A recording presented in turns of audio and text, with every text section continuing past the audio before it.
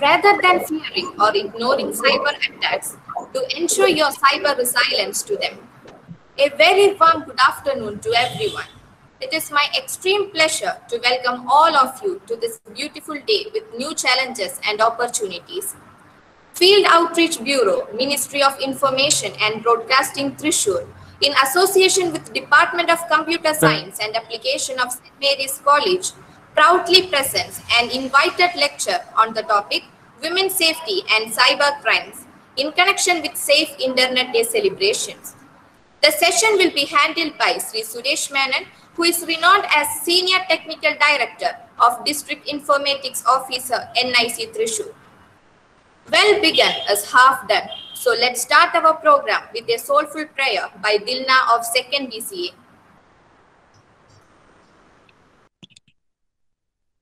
നന്മയാകുന്ന കാന്തി കാണുവാൻ കണ്ണിനാകേണമേ. നല്ല വാക്കിന്റെ ശീലു ചൊല്ലുവാൻ നാവിനാകേണമേ. സ്നേഹമാകുന്ന ഗീതമോ എന്റെ കാതിനിണയാകണേ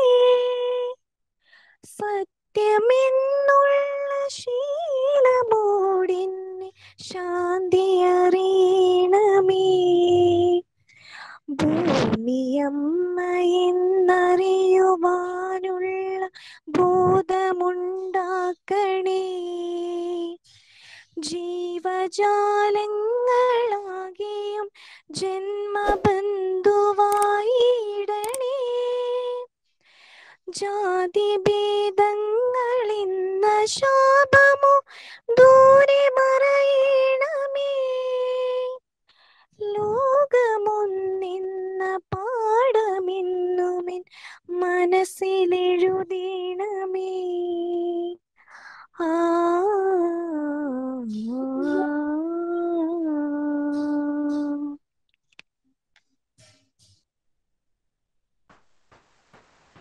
Thank you, Dilna. Now I welcome Vaishnavi of 2nd BCA for the welcome speech. A very good afternoon, everyone. Honorable Chief Guest, respected principal, teachers, and all the participants. I'm greatly honored to take this opportunity to welcome you all to this invited lecture on women's safety and cybercrimes. First of all, I welcome our respected principal, Dr. Sister Maggie Zeus, to the session. We have amongst us several eminent personalities who are highly qualified and possess vast knowledge in this field.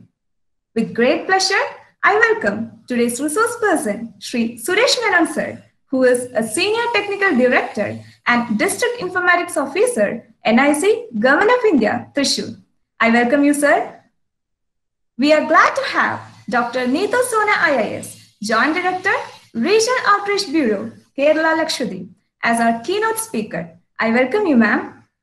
I also extend a warm welcome to Sri Josh Matthew, sir, Assistant Director, Directorate of Field Publicity, Government of India, Trishur, and all other delegates who have joined with us today.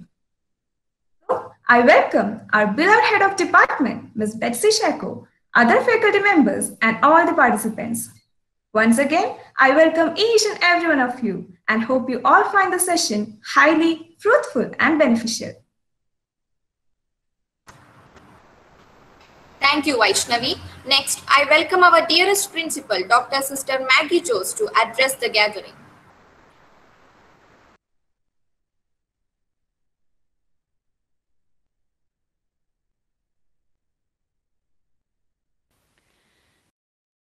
Respected resource persons of the day, Sri Suresh Menon and Dr. Needu Sona, IAS, Head of the Department, Dr. Betsy, my dear colleagues, and very dear students. First of all, let me congratulate all the faculty members of Department of Computer Science for organizing such an invited lecture on a very relevant topic in connection with Safe Internet Day celebration. Cybercrime can be defined as offenses that are committed against individuals or group of individuals with a criminal motive to intentionally harm the reputation of the victim or cause physical or mental harm or loss to the victim directly or indirectly using modern telecommunication networks such as internet and mobile phones. From the perspective of gender, cybercrime against women is described as targeted against women, as crimes targeted ag- against women, with a motive to harm the victim psychologically and physically using modern telecommunication networks. Cybercrimes and privacy, privacy breach in India has been growing exponentially every few months. The lack of user awareness about internet and cyber laws pose a big challenge in India. In this scenario, it is important that everyone should understand the risks associated with the transactions in cyberspace, implications of data leaks and privacy breaches through social media or email transactions, and its remedies are very important and should be taken with utmost priority. The keynote speaker and the resource person of today's lecture will explain you more about this. We all should be aware of this kind of cyber crimes and what are the do's and don'ts we should keep in mind in such situations. I wish all the participants of this webinar a good time ahead and hope and believe that you all will have a fruitful session ahead. Wishing you all the best. Let me stop. Thank you.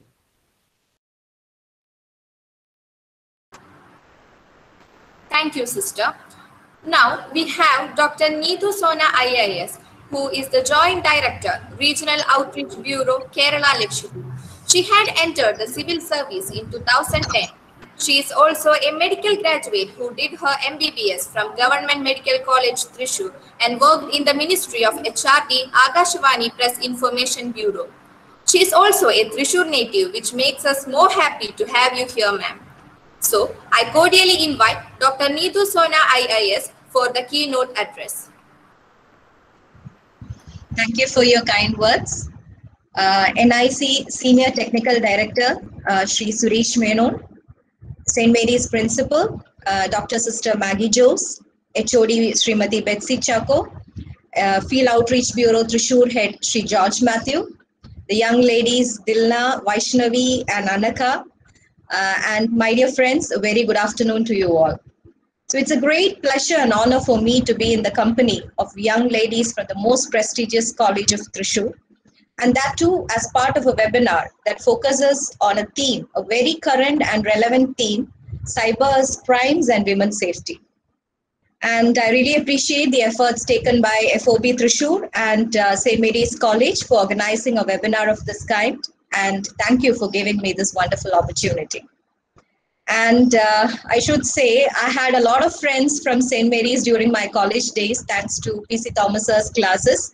So this program is an uh, it's an occasion for refreshing those memories. Uh, thank you for that.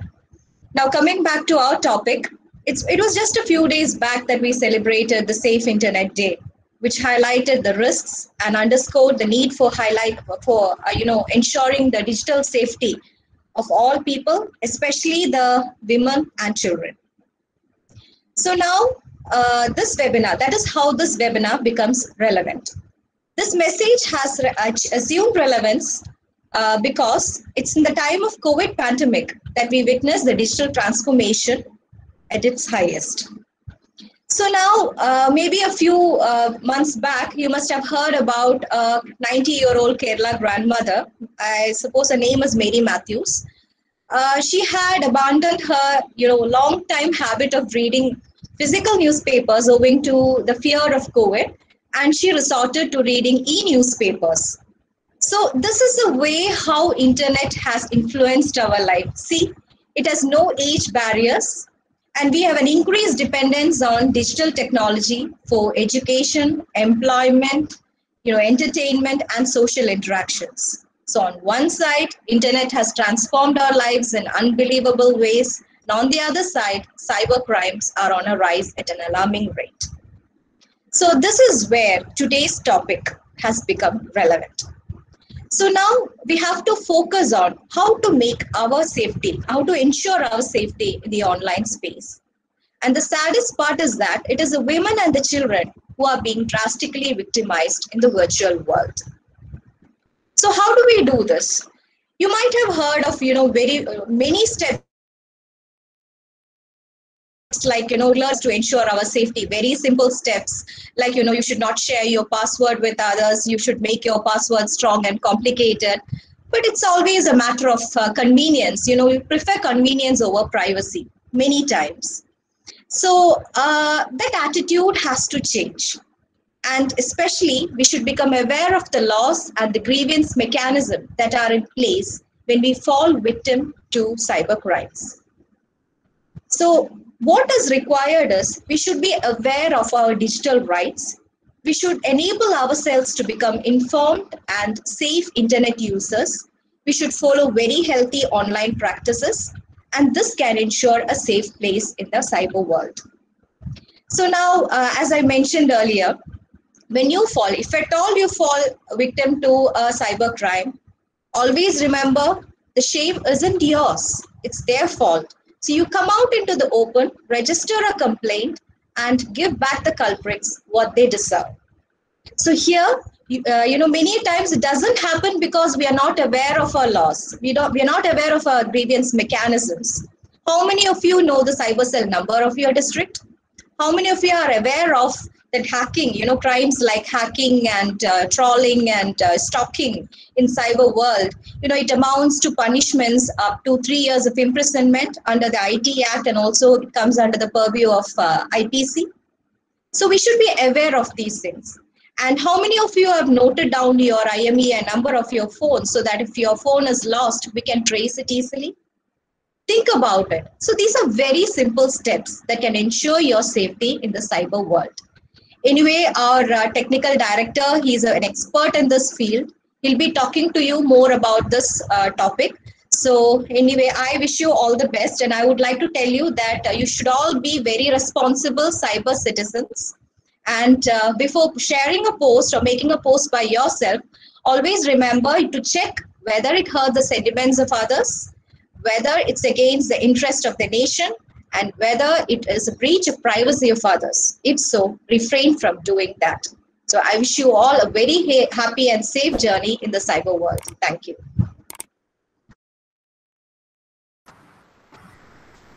Thank you, ma'am, for your valuable insights. Just giving up some instructions before we start our session. If you have got up with any queries during the session, please wait till the end. We will have a question answer sessions. To keep the quality of sound during the meeting, please mute yourself when you are not sharing and do remember to unmute when you wish to share. Please ensure that you do not share your screen without any prior information. Now, without any delay, I welcome our resource person, Sri Suresh Menon sir, who is presently working as State IT Nodal Officer for SCC Kerala, ICT Advisor to Thrissur District Administration, Project Head for Complete Automation of Kerala University of Health Sciences, Kerala Agricultural University, and have also been nominated as the jury for Kerala Congress ICT stream. Over to you, sir.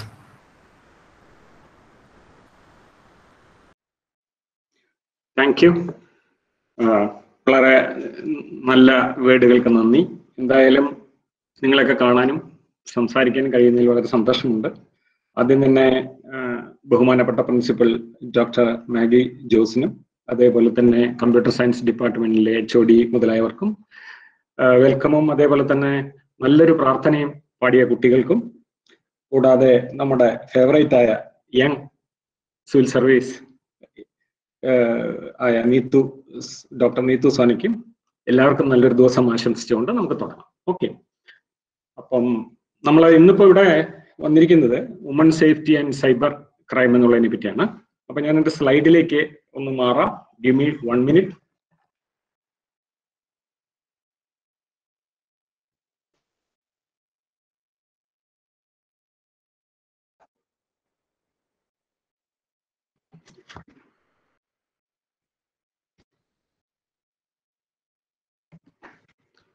Screen കാണുന്നുണ്ടല്ലോ അല്ലേ? Give me a response ആരെങ്കിലും ഒന്ന് respond ചെയ്യാ? നമുക്ക് screen കിട്ടുന്നുണ്ടല്ലോ? ഉണ്ട് സാറേ കാണാം.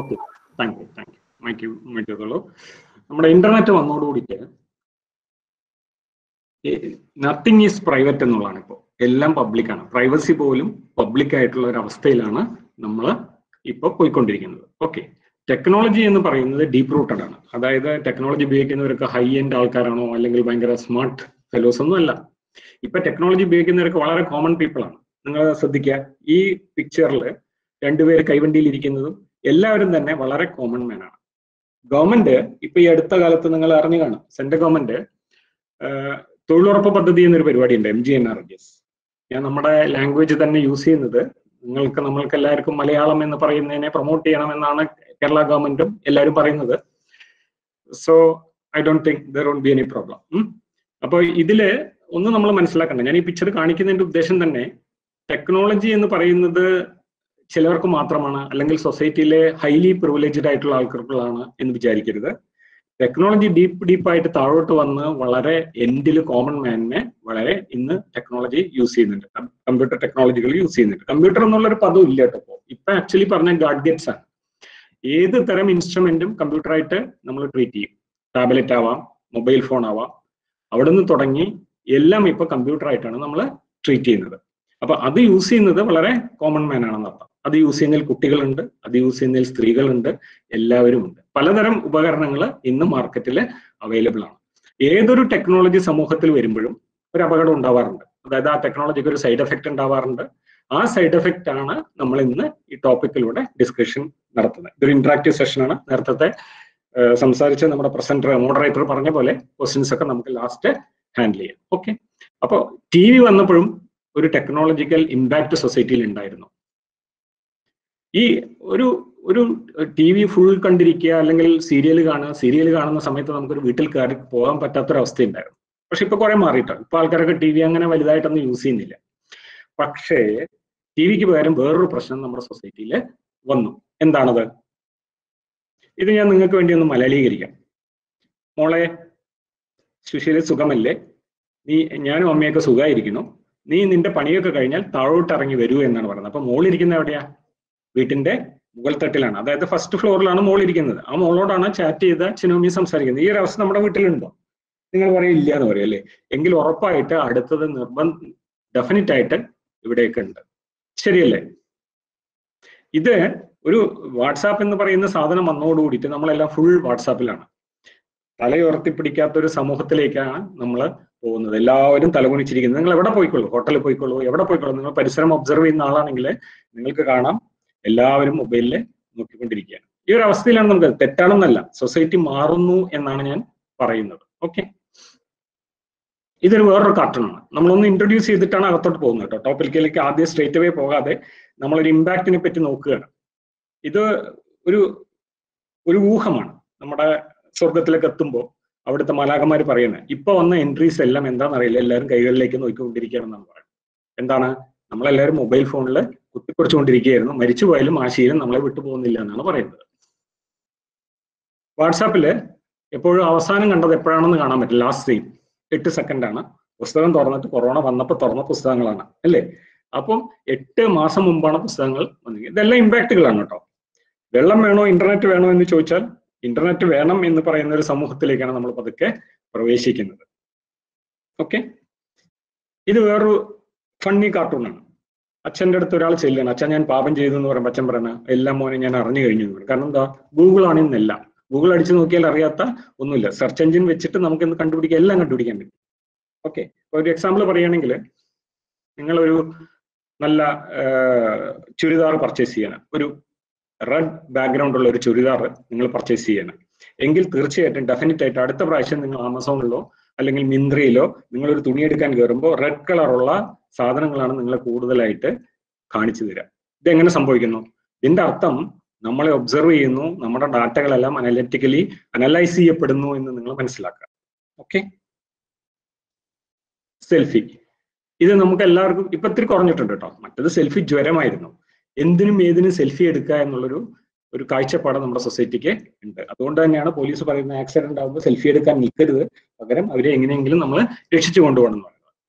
ഇനി ജസ്റ്റ് നമ്മളെ സബ്ജക്റ്റിലേക്ക് കടക്കുകയാണ്.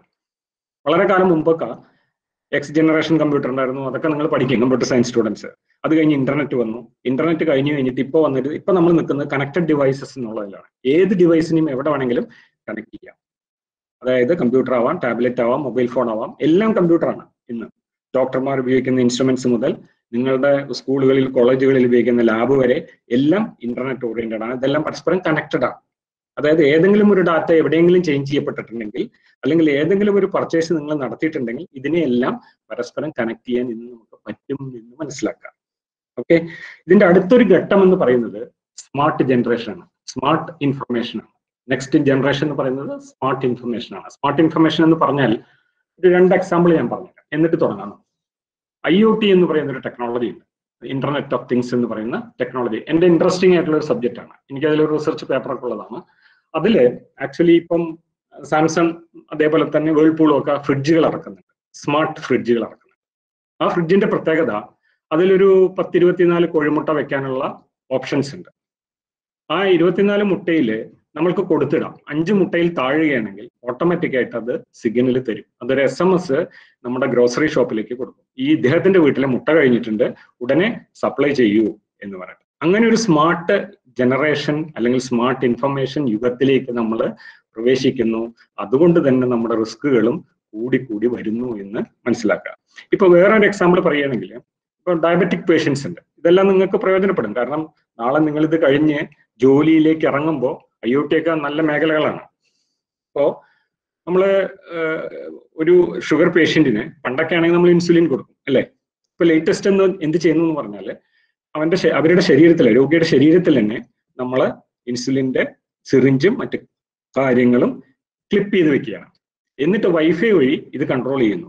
ഇപ്പൊ ഡോക്ടർക്ക് കാണാം ഇദ്ദേഹത്തിന്റെ ഇൻസുലിൻ ലെവൽ എപ്പോഴാണ് കുറയുന്നത്. ആ കുറയുന്നതിനനുസരിച്ച് അദ്ദേഹത്തിന് ഇൻസുലിൻ സ്ലോ ഡോസിൽ കൊടുക്കാൻ കഴിയും. ഇങ്ങനെ വരുന്ന ഒരു സ്മാർട്ട് ഇൻഫർമേഷൻ യുഗത്തിലേക്ക് നമ്മൾ കയറുമ്പോൾ തീർച്ചയായിട്ടും നമുക്ക് റിസ്കുകൾ ഉണ്ട് എന്ന് നമ്മൾ മനസ്സിലാക്കുക. ഒരു പെർ ഡേ നമ്മുടെ ട്രാൻസാക്ഷൻ എന്ന് പറയുന്നത് one forty five billion emails ആണ്. ഇത് ഒരു കൊല്ലം മുമ്പുള്ള ന്യൂസ് ആണ്. ഇത് വർദ്ധിച്ചിട്ടുണ്ടാവാം. അഞ്ച് ബില്യൺ സെർച്ചസ് നടക്കുന്നുണ്ട് ഗൂഗിളിൽ നയൻ തൗസൻഡ് പുതിയ ആർട്ടിക്കിൾ വിക്കിപീഡിയയിലൂടെ കയറുന്നുണ്ടെന്ന് മനസ്സിലാക്കാം. ഇതൊരു ചെറിയ ഒരു വീഡിയോ ആണ്. ഇതൊന്ന് കണ്ടിട്ട് നമുക്ക്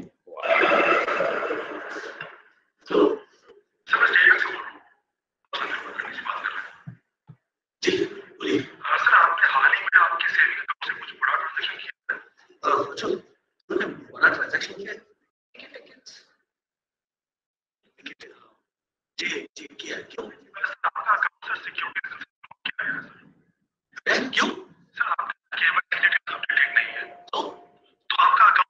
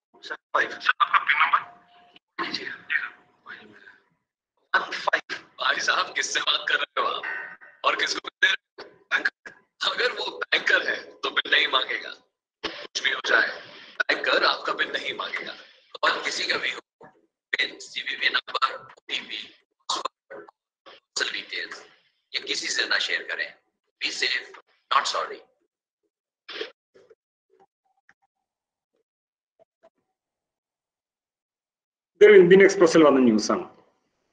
സൈബർ ബുള്ളിങ് കേരളത്തിൽ ഏറ്റവും കൂടിക്കൊണ്ടിരിക്കുന്നു എന്നും ഇന്റർനെറ്റ് പെനിട്രേഷൻ ആണ് അതിനൊരു കാരണം എന്നുമാണ് അതിൽ പറയുന്നത്. ഇന്ത്യൻ എക്സ്പ്രസിൽ വന്ന ന്യൂസാണ് ഇത്. ഇതിൽ ആക്ച്വലി നമ്മൾ ശ്രദ്ധിക്കേണ്ട സൈബർ ബുള്ളിങ് എന്താണെന്നുള്ളത് നമ്മൾ വരുന്ന സ്ലൈഡുകളിൽ നമ്മൾ മനസ്സിലാക്കും. അതേപോലെ തന്നെ ഇന്റർനെറ്റ് പെനിട്രേഷൻ എന്ന് പറഞ്ഞാൽ ഇന്റർനെറ്റിന്റെ ഡെൻസിറ്റി അതായത് ഇന്റർനെറ്റ് ഒരുപാട് കിട്ടുന്നുണ്ട് ഇപ്പൊ ഗവൺമെന്റ് എല്ലാം നിങ്ങൾക്കറിയാം കെ ഫോൺ എന്നൊരു പ്രൊജക്ട് വളരെ അംബീഷ്യസ് ആയിട്ട് ഒരു പ്രൊജക്ട് കേരള ഗവൺമെന്റ് ലോഞ്ച് ചെയ്യാണ്. ഇരുപത് ലക്ഷം കുടുംബങ്ങൾക്ക് ഫ്രീ ഇന്റർനെറ്റ് കൊടുക്കാൻ പോവുകയാണ്. അപ്പൊ അങ്ങനെ തുടങ്ങി എല്ലാ സ്ഥലത്തും ഇന്റർനെറ്റ് എത്തുന്നതോട് കൂടിയിട്ട് അവർ പറയുന്നത് ഇന്ത്യയിലെ ക്രൈം റേറ്റുകളും പതുക്കെ പതുക്കെ കയറുന്നു എന്നാണ്. ഇതൊരു വേറൊരു സ്റ്റാറ്റിസ്റ്റിക്സ് ആണ്. നാഷണൽ കമ്മീഷൻ ഫോർ വുമൺ പറയുന്നത് അമ്പത്തിനാല് സൈബർ ക്രൈമുകൾ റിപ്പോർട്ട് ചെയ്യപ്പെട്ടു എന്നും ഇത് രണ്ടായിരത്തി പത്തൊമ്പത് രണ്ടായിരത്തി ഇരുപതിലാണ് സോറി രണ്ടായിരത്തി ഇരുപത് മാർച്ച് ഇരുപത്തി അഞ്ച് വരെയുള്ളതാണ് പറയുന്നത്. മാർച്ച് ഇരുപത്തി അഞ്ച് മുതൽ ഏപ്രിൽ ഇരുപത്തി അഞ്ച് വരെ ഇത്രയും സൈബർ കേസുകൾ ഉണ്ടായിട്ടുണ്ടെന്ന് പറയും. എഗൻസ്റ്റ് വുമൺ ആണെന്ന് ആലോചിക്കണം കേട്ടോ. അതേപോലെ സൂപ്രണ്ടന്റ് ഓഫ് പോലീസ് പറയുന്നത് ജി ആർ രാധിക. ഇത് മാഡം ആന്ധ്രയിലെ ആയിരുന്ന സമയത്ത് ആറായിരത്തി മുപ്പത് സൈബർ ക്രൈംസും രജിസ്റ്റേർഡ് അഗൈൻസ്റ്റ് വുമൺ ഉണ്ടായിട്ടുണ്ടെന്നാണ് പറയുന്നത്. ഇന്ത്യയിൽ എഴുപത്തൊന്ന് കോടി ആളുകളും ഇന്റർനെറ്റ് ഉപയോഗിക്കുന്നു. അതിൽ ഇരുപത്തഞ്ച് കോടി സ്ത്രീകളാണ്. Eighty percent of the people prey to cyber crimes and sixty three percent of the people don't know where to lodge a complaint ഉണ്ടായി. ഒരു അപകടം ഉണ്ടായി കഴിഞ്ഞാൽ നേരത്തെ മാഡം നമ്മുടെ മാഡം പറയുകയുണ്ടായി. ഒരു കംപ്ലൈന്റ് വന്നു കഴിഞ്ഞാൽ എന്താണ് ഇതിന് ചെയ്യേണ്ടത് എന്ന് കൂടി നോക്കാനാണ് നമ്മൾ ഈ സെഷൻ ഉപയോഗപ്പെടുത്തുന്നത്. ഓക്കെ അപ്പൊ എന്താണ് നമ്മുടെ പ്ലാൻ ഇപ്പോ ഇനി ക്യുക്കായിട്ട് നമ്മുടെ പ്ലാൻ എന്താണെന്ന് പറഞ്ഞാൽ എന്താണ് നമ്മൾ ഇവിടെ ഇരിക്കുന്നത്? ആൾറെഡി നമ്മൾ പറഞ്ഞു കഴിഞ്ഞു. എന്താണ് ഒരു സൈബർ ക്രൈം ഇപ്പൊ സൈബർ ക്രൈമിന്റെ വേരിയസ് മോഡ്സ് ഉണ്ട്. പക്ഷെ നിങ്ങളുമായിട്ട് അസോസിയേറ്റ് ചെയ്ത് ഒന്ന് ഐഡന്റിറ്റി തെഫ്റ്റ് ആണ്. വൈഫൈയിൽ വരുന്ന സെക്യൂരിറ്റി മെഷേഴ്സ് ആണ്. സൈബർ ബുള്ളിങ്ങിനെ എങ്ങനെ നമുക്ക് തടയാം? ഓൺലൈൻ ഷോപ്പിങ്ങിന് പോകുമ്പോൾ ശ്രദ്ധിക്കേണ്ട എന്താണ്? സോഷ്യൽ എഞ്ചിനീയറിംഗിന് പോകുമ്പോൾ എന്തെല്ലാം ശ്രദ്ധിക്കണം? പ്രൊട്ടക്ഷന് വേണ്ടിയിട്ടുള്ള സം ടിപ്സ് നമുക്ക് നോക്കാം. ഏതൊക്കെയാണ് വെബ്സൈറ്റ് നോക്കാം? എന്താണ് ഡിജിറ്റൽ ഹൈജീൻ എന്ന് മനസ്സിലാക്കാൻ ലാസ്റ്റ് നമുക്കൊരു ക്വസ്റ്റൻ ആൻസർ സെഷനിലേക്ക് പോവാം. അപ്പം ഇന്റർനെറ്റ് ഉണ്ടാക്കിയവർ ഒരിക്കലും വിചാരിച്ചിട്ടുണ്ടാവില്ല. ഇന്റർനെറ്റ് ഉപയോഗിച്ചുകൊണ്ട് ഇങ്ങനെയൊക്കെ മിസ്യൂസ് ചെയ്യപ്പെടാൻ സാധ്യതയുണ്ടെന്ന് വിചാരിച്ചിട്ടുണ്ടാവില്ല. അപ്പൊ സൈബർ സ്പേസ് എന്താണെന്ന് നമ്മൾ ആദ്യം മനസ്സിലാക്കണം. ഇന്റർനെറ്റ് എന്താണെന്ന് നിങ്ങൾക്ക് എല്ലാവർക്കും അറിയാം. കമ്പ്യൂട്ടർ കുട്ടികൾക്ക് എന്തായാലും ഇന്റർനെറ്റ് എന്തായിരുന്നു പക്ഷെ മറ്റുള്ളവർക്ക് എന്താണെന്ന് ഇന്റർനെറ്റ് അറിയില്ലാത്തതുകൊണ്ട് ഞാൻ പറഞ്ഞത് ഇന്റർനെറ്റ് എന്ന് പറയുന്നത് കുറെ നെറ്റ്വർക്കുകളുണ്ട്. അപ്പൊ ബി എസ് എൻ എല്ലിന്റെ നെറ്റ്വർക്ക് ഉണ്ട് ഐ ഡിയുടെ നെറ്റ്വർക്ക് ഉണ്ട് അങ്ങനെ ലോകം മുഴുവൻ നെറ്റ്വർക്കുകളുണ്ട്. അല്ലേ? ഇതിനെല്ലാം പരസ്പരം കണക്ട് ചെയ്യുമ്പോൾ നമുക്കൊരു വലിയ നെറ്റ്വർക്ക് ഉണ്ട് അതിനെയാണ് നമ്മൾ ഇന്റർനെറ്റ് എന്ന് വീക്ഷിക്കുന്നത് അപ്പൊ ഇന്റർനെറ്റ് ആക്ച്വലി വിർച്വൽ ആണ് അല്ലേ? നമുക്ക് കാണാൻ പറ്റില്ലേ? തൊട്ടപ്പുറത്തിരുന്നിട്ട് ഞാൻ അജിത്ത് ആണെന്ന് പറഞ്ഞ ഒരാൾ നമ്മളോട് ചാറ്റ് ചെയ്യുമ്പോൾ he may not be Ajith ഞാൻ നിന്റെ കസിൻ അജിത്ത് ആണെന്ന് നമ്മളോട് ടൈപ്പ് ചെയ്ത് സംസാരിക്കുന്ന ആൾ അജിത്ത് ആണെന്ന് യാതൊരു നിർബന്ധമില്ല കാരണം നമ്മൾ കാണുന്നില്ല. അങ്ങനെ ഒരു വേൾഡിനെ വിർച്വൽ വേൾഡിനെയാണ് നമ്മൾ സൈബർ സ്പേസ് എന്ന് പറയുന്നത്. അവിടെ നടക്കുന്ന ക്രൈംസ് അതായത് കമ്പ്യൂട്ടറോ ഇന്റർനെറ്റോ ഉപയോഗപ്പെടുത്തിക്കൊണ്ട് നടക്കുന്ന എല്ലാ ക്രൈംസിനെയും നമ്മൾ സൈബർ ക്രൈംസ് എന്ന് വിവക്ഷിക്കും. അപ്പൊ ഇത് വരാൻ കാരണം എന്താ? നമ്മളെ ഇമ്പാക്റ്റ് ആണ്. നമ്മൾ ആ കണ്ട കാർട്ടൂണുകളെല്ലാം സൊസൈറ്റിയിലെ ഇമ്പാക്റ്റുകൾ ഉണ്ടാക്കിയതാണ്. ഐ സി ടിയുടെ ഇമ്പാക്റ്റുകളാണ് നിങ്ങളൊക്കെ റിസൾട്ട് അറിഞ്ഞിട്ടുണ്ട് അപ്പൊ എൻ ഐ സി നിങ്ങൾക്ക് ക്ലാസ് എടുക്കാം. ഞാൻ ക്ലാസ് എടുക്കുമ്പോൾ നിങ്ങൾ എല്ലാവരും വിചാരിച്ചു എന്താണ് ഈ എൻ ഐ സി എന്ന് വിചാരിച്ചിട്ടുണ്ടാവും അല്ലേ? എൻ ഐ സി എന്ന് പറയുന്നത് നാഷണൽ ഫോമാറ്റിക് സെന്റർ എന്ന് പറയുന്ന ഇന്ത്യയിലെ കമ്പ്യൂട്ടർ ഡിപ്പാർട്ട്മെന്റ് ആണ്. അതായത് മൈറ്റിയുടെ കീഴിലുള്ള ഒരു കമ്പ്യൂട്ടർ ഡിപ്പാർട്ട്മെന്റ് ആണ് ഒരു ഓഫീസാണ്. ആ ഓഫീസിന്റെ പണി എന്ന് പറയുന്നത് ഗവൺമെന്റിന്റെ കമ്പ്യൂട്ടറൈസേഷൻ ആണ്. നിങ്ങളുടെ result results dot Kerala dot N I C dot in തുടങ്ങി എല്ലാ കാര്യങ്ങളും എൻ ഐ സി വഴിയാണ് സോഫ്റ്റ്വെയർ ഉണ്ടാകുന്നത് കഴിഞ്ഞ ഇലക്ഷന് ഉപയോഗിച്ചിരുന്ന സോഫ്റ്റ്വെയർ ഈ വരാൻ പോകുന്ന ഇലക്ഷൻ ഉപയോഗിക്കുന്നത് ഇതെല്ലാം എൻ ഐ സി ഡെവലപ്പ് ചെയ്ത് ലോഞ്ച് ചെയ്യുന്ന സോഫ്റ്റ്വെയർസ് ആണ്. ഓക്കെ ഇതിന് പുറമെ സൊസൈറ്റിക്ക് ഫേസ്ബുക്ക് ഉണ്ട് വാട്സാപ്പ് ഉണ്ട് ടെലിഗ്രാം ഉണ്ട് വീഡിയോ ഗെയിം കളിക്കാറുണ്ട് നമ്മൾ നമ്മൾ പേ ടി എം പറയുന്ന വാലറ്റുകൾ ഉപയോഗിക്കാറുണ്ട്. നമ്മൾ ബാങ്കിങ് ട്രാൻസാക്ഷൻ വേണ്ടി മൊബൈൽ ഉപയോഗിക്കാറുണ്ട്. റെയിൽവേ ടിക്കറ്റ് എടുക്കാറുണ്ട്. ഇപ്പൊ ഇപ്പൊ റെയിൽവേ ടിക്കറ്റ് എടുക്കുന്ന എന്റെയൊക്കെ കുട്ടിക്കാലത്ത് റെയിൽവേ ടിക്കറ്റ് കിട്ടണമെങ്കിൽ നമ്മൾ സ്റ്റേഷനിലേക്ക് ചെല്ലണം. സ്റ്റേഷനിൽ പോയി ക്യൂ നിൽക്കണം. ക്യൂവിന്റെ അറ്റത്തെത്തുമ്പോഴാണ് പറയാ ടിക്കറ്റ് ഇല്ല എന്ന് പറയാം. പിന്നെ വേറൊരു ക്യൂ ഉണ്ടായിരുന്ന ഒരു കാലഘട്ടം ഉണ്ടായിരുന്നു. അതായത് ഒരു ട്രെയിനോ ഇന്ന സ്ഥല ഇന്ന ഇന്ന ട്രെയിനുകൾക്ക് ഒരു ക്യൂ അങ്ങനത്തെ കാലഘട്ടങ്ങളൊക്കെ ഉണ്ടായിരുന്നു. അവിടെ നിന്നാണ് ഇന്ന് എവിടെ നിന്നും എവിടേക്കും ടിക്കറ്റ് എടുക്കാം വീട്ടിലിരുന്ന് ടിക്കറ്റ് എടുക്കാം എന്നുള്ള അവസ്ഥയിൽ നമ്മൾ അതൊരു സൊസൈറ്റിയിൽ ഇമ്പാക്റ്റ് ആണ്. പക്ഷെ അവിടെ ഒരു കാര്യം നിങ്ങൾ ശ്രദ്ധിച്ചു നോക്കിയാൽ നിങ്ങൾ എല്ലാവരും ഇപ്പോൾ ദൃശ്യം ടു ആമസോൺ പ്രൈമിൽ കണ്ട് വളരെ സുഖമായിട്ടിരിക്കുകയാണ്. ഇപ്പൊ ദൃശ്യം ടു കാണാൻ പറ്റാത്ത എത്രയോ പേര് പുറത്തു അതായത് ആമസോൺ പ്രൈം പോലും ഉപയോഗിക്കാൻ പറ്റാത്ത ആൾക്കാരുണ്ട്. റെയിൽവേയിൽ ടിക്കറ്റ് എടുക്കാൻ ഇന്നും കാറിലോ സൈക്കിളിൽ പോയി അവിടെ നിന്ന് വേർത്ത് ക്യൂ നിൽക്കുന്ന ആൾക്കാരുണ്ട്. നമുക്ക് സിനിമ ടിക്കറ്റുകൾ നമ്മൾ ഓൺലൈൻ എടുക്കുന്നു അവർ നമ്മൾ അവരെന്ത് ചെയ്യുന്നു? അവരിപ്പോഴും ഫിസിക്കൽ മെത്തേഡുകൾ ഉപയോഗിക്കുന്നു. സൊസൈറ്റി പതുക്കെ പതുക്കെ ഡിവൈഡ് ചെയ്യപ്പെടുന്നു എന്നാണ് എന്തിനെ ബേസ് ചെയ്ത്? ഐ ടിയെ ബേസ് ചെയ്ത് സൊസൈറ്റി ഡിവൈഡ് ചെയ്യപ്പെടുന്നു എന്നാണ് അതൊക്കെ സൊസൈറ്റിയുടെ ഒരു ഇമ്പാക്റ്റ് ആണ്. എഡ്യൂക്കേഷനിലാണെങ്കിൽ ഇപ്പൊ നോക്കും ഇപ്പൊ നമ്മൾ എല്ലാവരും ക്ലാസ് എടുക്കണം. ഓരോരുത്തരും ഓരോ സ്ഥലത്തിരിക്കുകയാണ്. ഇല്ലേ? നിങ്ങൾ ചിലർ വീട്ടിലിരുന്ന് കൊണ്ട് കഷ്ണം നോക്കിക്കൊണ്ട് ഈ ക്ലാസ് കാണുന്നുണ്ടാവാം. അപ്പൊ ഞാൻ പറയുന്നത് ഇത് നമുക്ക് പോസിബിൾ ആക്കിയത് ഐ ടിയുടെ ഒരു ഇമ്പാക്റ്റ് ആണ്. ഇതേ ഇമ്പാക്ട് ഗവൺമെന്റിന് വന്നു. ഞങ്ങളൊക്കെ അണ്ടർ പ്രഷറാണ് ഗവൺമെന്റിന്റെ മാക്സിമം സർവീസ് ഡോർ സ്റ്റെപ്സിൽ തരാനാണ് ഗവൺമെന്റ് പറയുന്നത്. ആർ ടി ഒ ആയാലും സിവിൽ സപ്ലൈസ് സപ്ലൈസ് ആയാലും ഇ ഡിസ്ട്രിക്ട് ആയാലും എല്ലാം നിങ്ങൾക്ക് വീട്ടിലേക്ക് സർവീസ് ഗവൺമെന്റിന്റെ കൊണ്ടുവന്ന് തരികയാണെന്ന് പറയും. അങ്ങനെ ഒരു ടോട്ടൽ ഇമ്പാക്ട് നിൽക്കുന്ന ഒരു സൊസൈറ്റിയിലാണ് നമ്മൾ നിൽക്കുന്നത്. ഓക്കെ ഒരുപാട് സൈറ്റുകൾ നിങ്ങൾ ഡെയിലി വിസിറ്റ് ചെയ്യാറുണ്ട്. അപ്പൊ എന്റെ ചോദ്യം എന്തിനാണ്? പലർക്കും തോന്നാറ്. ഞാനിപ്പോ എന്തിനാണ് ഈ ക്ലാസ് അറ്റൻഡ് ചെയ്യണമെന്ന് തോന്നുകയാണെങ്കിൽ നമ്മൾ മനസ്സിലാക്കേണ്ടത് നിങ്ങളൊരു ഇമെയിൽ അക്കൗണ്ട് ഉപയോഗിക്കുന്നുണ്ടോ? നിങ്ങളൊരു സോഷ്യൽ നെറ്റ്വർക്കിംഗ് അക്കൗണ്ട് ഉള്ള ആളാണോ? സ്മാർട്ട് ഫോൺ ഉപയോഗിക്കുന്ന ആളാണോ? വാഷിംഗ് മെഷീനോ സ്മാർട്ട് റെഫ്രിജറേറ്ററോ ഉണ്ടോ? ഗ്രോസറി ഓൺലൈനിൽ പർച്ചേസ് ചെയ്യാറുണ്ടോ? ഇതെല്ലാം ചെയ്യുന്നവർ വാട്സാപ്പ് ഇൻസ്റ്റാഗ്രാം ഫേസ്ബുക്ക് ഇതെല്ലാം സൈബർ ത്രെട്ടുകൾക്ക് വിധേയമാണെന്ന് മനസ്സിലാക്കുക. ഓക്കെ. ഇനി അപ്പൊ പലതരം സൈബർ ക്രൈം ഉണ്ടെന്ന് നമ്മൾ മനസ്സിലാക്കി. ഇനി എങ്ങനെയൊക്കെയാണ് നമ്മളെ ബാധിക്കുന്ന സൈബർ ക്രൈം? അതായത് നമുക്ക് നമ്മളുടെ വളർച്ചയ്ക്ക് നമുക്ക് തടസ്സം നിൽക്കുന്ന അല്ലെങ്കിൽ നമ്മളുടെ ഡിഗ്നിറ്റിയെ ഹനിക്കുന്ന തരത്തിൽ എന്തൊക്കെ സംഭവിക്കാം? അതിൽ ഏറ്റവും പ്രധാനം ഐഡന്റിറ്റി തെഫ്റ്റ് ആണ്. ഐഡന്റിറ്റി തെഫ്റ്റ് എന്ന് പറഞ്ഞാൽ എന്താ? നിങ്ങളാണെന്ന് പ്രിട്ടൺ ചെയ്തുകൊണ്ട് വേറൊരാളൊരു പ്രൊഫൈൽ ഉണ്ടാക്കുക. അതെങ്ങനെ പറ്റും? നമ്മൾ പല സ്ഥലത്തും നമ്മുടെ ഡാറ്റ വാരിക്കോരി കൊടുക്കാറുണ്ട് അല്ലേ? നമ്മൾ ഒരു സ്ഥലത്ത് നമ്മൾ പറയും നമുക്ക് പ്രൈവസി അത് ഗവൺമെന്റ് ചെയ്യുന്നത് ശരിയല്ല. ഗവൺമെന്റ് ഡാറ്റ നമ്മൾ ചോദിക്കുന്നു പറയും. ഇപ്പുറത്ത് നമ്മൾ എന്ത് ചെയ്യും? ചോദിക്കുന്ന ആൾക്കാർക്ക് നമ്മൾ വേണ്ട സാധനങ്ങളൊക്കെ കൊടുക്കും. ഒരു എക്സാമ്പിൾ പറയുകയാണെങ്കിൽ നമ്മളെല്ലാവരും നമ്മുടെ ആക്ച്വൽ ഡേറ്റ് ഓഫ് ബർത്ത് പലരും ഭൂരിപക്ഷം പേരും ആക്ച്വൽ ഡേറ്റ് ഓഫ് ബർത്ത് വെബ്സൈറ്റുകളിൽ പബ്ലിഷ് ചെയ്യാറുണ്ട്. ഫേസ്ബുക്ക് അവിടെ എല്ലാം നമ്മൾ നമ്മുടെ ആക്ച്വൽ ഡേറ്റ് ഓഫ് ബർത്ത് ഇടും. അല്ലെങ്കിൽ നമ്മുടെ ബർത്ത്ഡേ സെലിബ്രേഷൻ ഏത് ദിവസമാണെന്നുള്ള വ്യക്തമായി നമ്മൾ സൈറ്റിൽ ഇടാറുണ്ട്. അപ്പൊ അവിടെ നിന്ന് എന്ത് കിട്ടുന്നു? ആ ഇൻട്രൂഡർക്ക് അല്ലെങ്കിൽ ഹാക്കർക്ക് അല്ലെങ്കിൽ പ്രിഡേറ്റർക്ക് നിങ്ങളുടെ ഡേറ്റ് ഓഫ് ബർത്ത് കിട്ടുന്നു ഏറ്റവും മേജർ ആയിട്ടുള്ള ഒരു സാധനം അടിച്ചെടുക്കാനായി ഇപ്പൊ നമ്മൾ ഓൺലൈൻ ടാക്സി ബുക്ക് ചെയ്യാം. ഓൺലൈൻ ടാക്സി ആപ്പുകളിൽ യൂഷ്വലി നമ്മൾ കൊടുക്കുമ്പോൾ നമ്മുടെ ഡീറ്റെയിൽസ് ഒക്കെ കൊടുക്കാറുണ്ട് നമ്മൾ ഡേറ്റിംഗ് സൈറ്റുകൾ മാട്രിമോണിയൽ വെബ്സൈറ്റുകൾ ഇവിടെ എല്ലാം പോകാറുണ്ട്. പെൺകുട്ടികളാകുമ്പോൾ തീർച്ചയായിട്ടും അവിടെ വേണ്ടി വരും.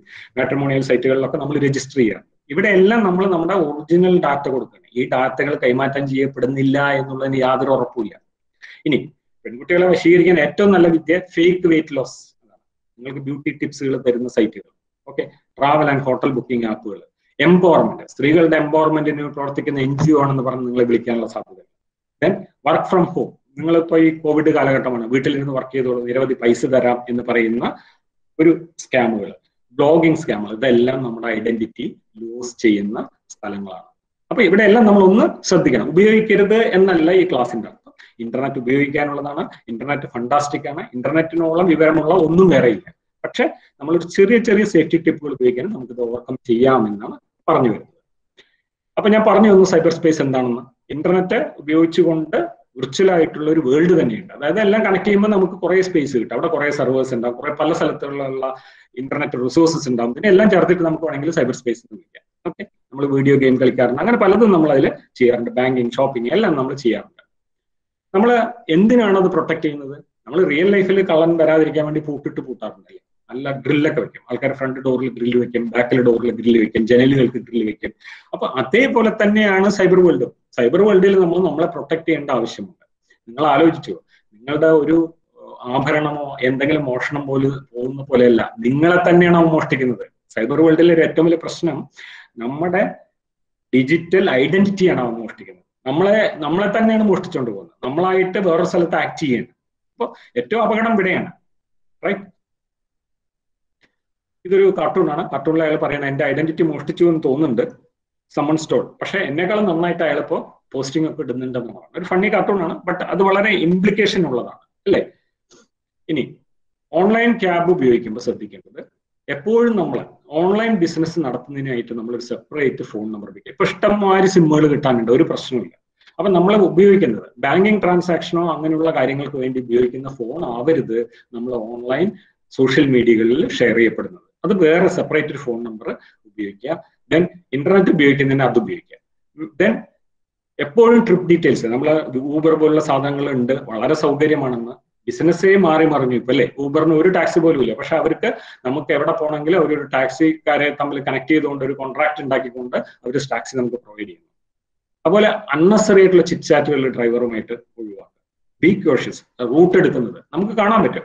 അല്ലെങ്കിൽ ഞാൻ വരാം നമ്മുടെ പോലീസ് കേരള പോലീസ് തന്നെ നിങ്ങളെ ഹെൽപ്പ് ചെയ്യുന്നുണ്ട് അതിൽ അതിലേക്ക് നമ്മൾ അവസാനം വരും. ഓക്കെ ഇങ്ങനെ നമ്മൾ കുറച്ച് സ്റ്റെപ്സുകൾ നമ്മൾ ശ്രദ്ധിക്കുകയാണെങ്കിൽ നമുക്ക് ഓൺലൈൻ ടാബുകൾ യൂസ് ചെയ്യാൻ പറ്റുമെന്നാണ് മാട്രോണിയൽ വെബ്സൈറ്റിൽ എന്ത് ചെയ്യണം?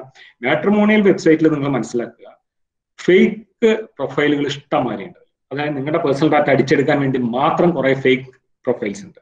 അപ്പൊ അത് അങ്ങനത്തെ സൈറ്റിൽ സൈറ്റിലേക്ക് കയറുമ്പോൾ നമ്മൾ ചെയ്യേണ്ടത് അയാൾ അത് കമ്പനി അയാളെ വെരിഫൈ ചെയ്തിട്ടുണ്ടോ? അപ്പൊ അതിൽ പറയുന്നുണ്ടോ വെരിഫൈഡ് ബൈ ദ കമ്പനി അങ്ങനെയുള്ള പ്രൊഫൈലുകൾ മാത്രം നമ്മൾ പേഴ്സണൽ ചാറ്റിങ്ങിന് നമ്മളല്ല വേണ്ടത്. അതിന് വീട്ടുകാരുൾപ്പെട്ട് ആരാന്ന് ആദ്യം തിരിച്ചറിയുന്ന identity even I D card ചോദിക്കുന്നത് പോലും തെറ്റല്ല എന്നാണ് ഞാൻ പറയുന്നത്. ഓക്കെ ഒരിക്കലും മീറ്റ് ഇൻ പേഴ്സൺ ചെയ്യരുത്. വിത്ത് ഫാമിലി ആൻഡ് ഫ്രണ്ട്സ് മാത്രം നിങ്ങൾ മീറ്റ് ചെയ്യാൻ വെയിറ്റ് ലോസ് മനസ്സിലാക്കുക. ഭക്ഷണം കുറച്ചുകൊണ്ട് എക്സസൈസ് ചെയ്യുക എന്നുള്ളതാണ് വെയിറ്റ് ലോസിന്റെ ഒരു മാർഗം. അല്ലാതെ ഒരു വഴിയും ഫേക്ക് ആയിട്ട് വെയിറ്റ് കുറയ്ക്കാൻ വേണ്ടി ഉണ്ടാവില്ല. അത് നമ്മളെ തട്ടിപ്പിലേക്ക് നമ്മളെ പ്രേരിപ്പിക്കുമെന്ന് വുമൺ എംപവർമെന്റ് ആണ്. ഇപ്പൊ വരുന്ന വേറൊരു സ്കീം നിങ്ങൾ വീട്ടിലിരുന്ന് വർക്ക് ചെയ്യും നിങ്ങൾ ഭയങ്കര ശക്തിയുള്ള ലേഡീസ് ആണ്. നിങ്ങൾക്ക് ആ സൗകര്യമുണ്ട് ഈ സൗകര്യമുണ്ട് എന്ന് ചോദിച്ചുകൊണ്ട് നമ്മളെ ട്രാപ്പിലാക്കുന്ന ഒരുപാട് സൈറ്റുകൾ നിലവിലുണ്ട്. എപ്പോഴും നമ്മൾ അത്തരം കേസുകളിൽ ബാങ്ക് അക്കൗണ്ട് തുടങ്ങിത്തരാന്നൊക്കെ പറയും. അപ്പൊ നമ്മൾ പറയാം വേണ്ട ബാങ്ക് അക്കൗണ്ട് തുടങ്ങാൻ ഞങ്ങൾക്കറിയാം ഞങ്ങൾ ചെല്ലാം. അപ്പൊ വിളിച്ചു കഴിഞ്ഞാൽ വീട്ടിലേക്ക് ഒന്ന് ചെയ്തു തരുന്ന ബാങ്കുകളിൽ നിന്ന് ഓക്കെ? ഏത് കമ്പനിയെ കുറിച്ചും നിങ്ങൾ ജോബ് ഓഫർ ആക്സെപ്റ്റ് ചെയ്യുന്നതിന് മുമ്പ് കർശനമായിട്ട് ശ്രദ്ധിക്കുക. എന്നിട്ട് മാത്രം നിങ്ങൾ കൊടുക്കുക. ഓക്കെ? പിന്നെ ഒരു അപകടമുള്ള ഒരു കാര്യം വൈഫൈ സെക്യൂരിറ്റിയാണ് വൈഫൈയെ കുറിച്ച് പറയുമ്പോൾ ചെറിയൊരു സ്റ്റോറി ഉണ്ട് അതങ്ങ് പറയാം. ഒരു പെൺകുട്ടി ഉണ്ടായിരുന്നു ഒരു വീട്ടിൽ. ആ വീട്ടിലെ പെൺകുട്ടിയുടെ വീട്ടിൽ നല്ല വൈഫൈ ഉണ്ട്. ആ പെൺകുട്ടി അതൊക്കെ നോക്കി ഇങ്ങനെ സിനിമ കാണാറുണ്ട്. അവളുടെ ഫ്രണ്ട്സുമായിട്ടൊക്കെ ചാറ്റ് ചെയ്യുന്നതിന്റെ മുറത്ത് അവൾ ജനലിലൂടെ പുറത്തു നോക്കിയപ്പോൾ ഒരാൾ അയാളുടെ വീട്ടിൽ അവരുടെ വീട്ടിന്റെ മുമ്പിൽ എന്നും കാണും. നല്ല സുമുഖനായ ചെറുപ്പക്കാരൻ അവരുടെ വീട്ടിന്റെ മുമ്പിൽ എന്നും കാണും. അപ്പൊ കുറെ ദിവസങ്ങൾ ഇങ്ങനെ അടുപ്പിച്ച് കണ്ടപ്പോൾ ഈ പെൺകുട്ടി വിചാരിച്ചു ഈ പെൺകുട്ടിയെ കാണാൻ വേണ്ടി വരുന്നതാണോ?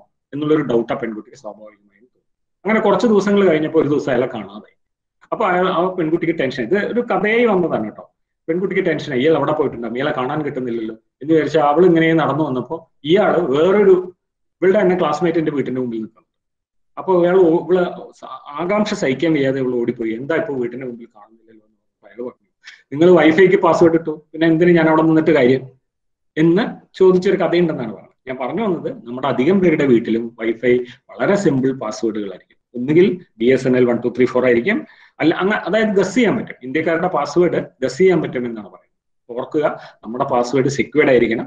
അത് വൈഫൈ സെക്യൂർഡ് ആയിരിക്കണം. എപ്പോഴും criminals cyber criminals unsecured wifi വഴിയാണ് അകത്തോട്ട് കയറുക നിങ്ങളുടെ വൈഫൈ വഴി അകത്തോട്ട് കയറി കഴിഞ്ഞാൽ നിങ്ങൾ കമ്പ്യൂട്ടർ കണക്ട് ചെയ്തിട്ടുണ്ടെങ്കിൽ നിങ്ങളുടെ കമ്പ്യൂട്ടറിലുള്ള ഡാറ്റ വലിച്ചെടുക്കാനുള്ള ടൂളുകൾ ഇന്ന് അവൈലബിൾ ആണ്.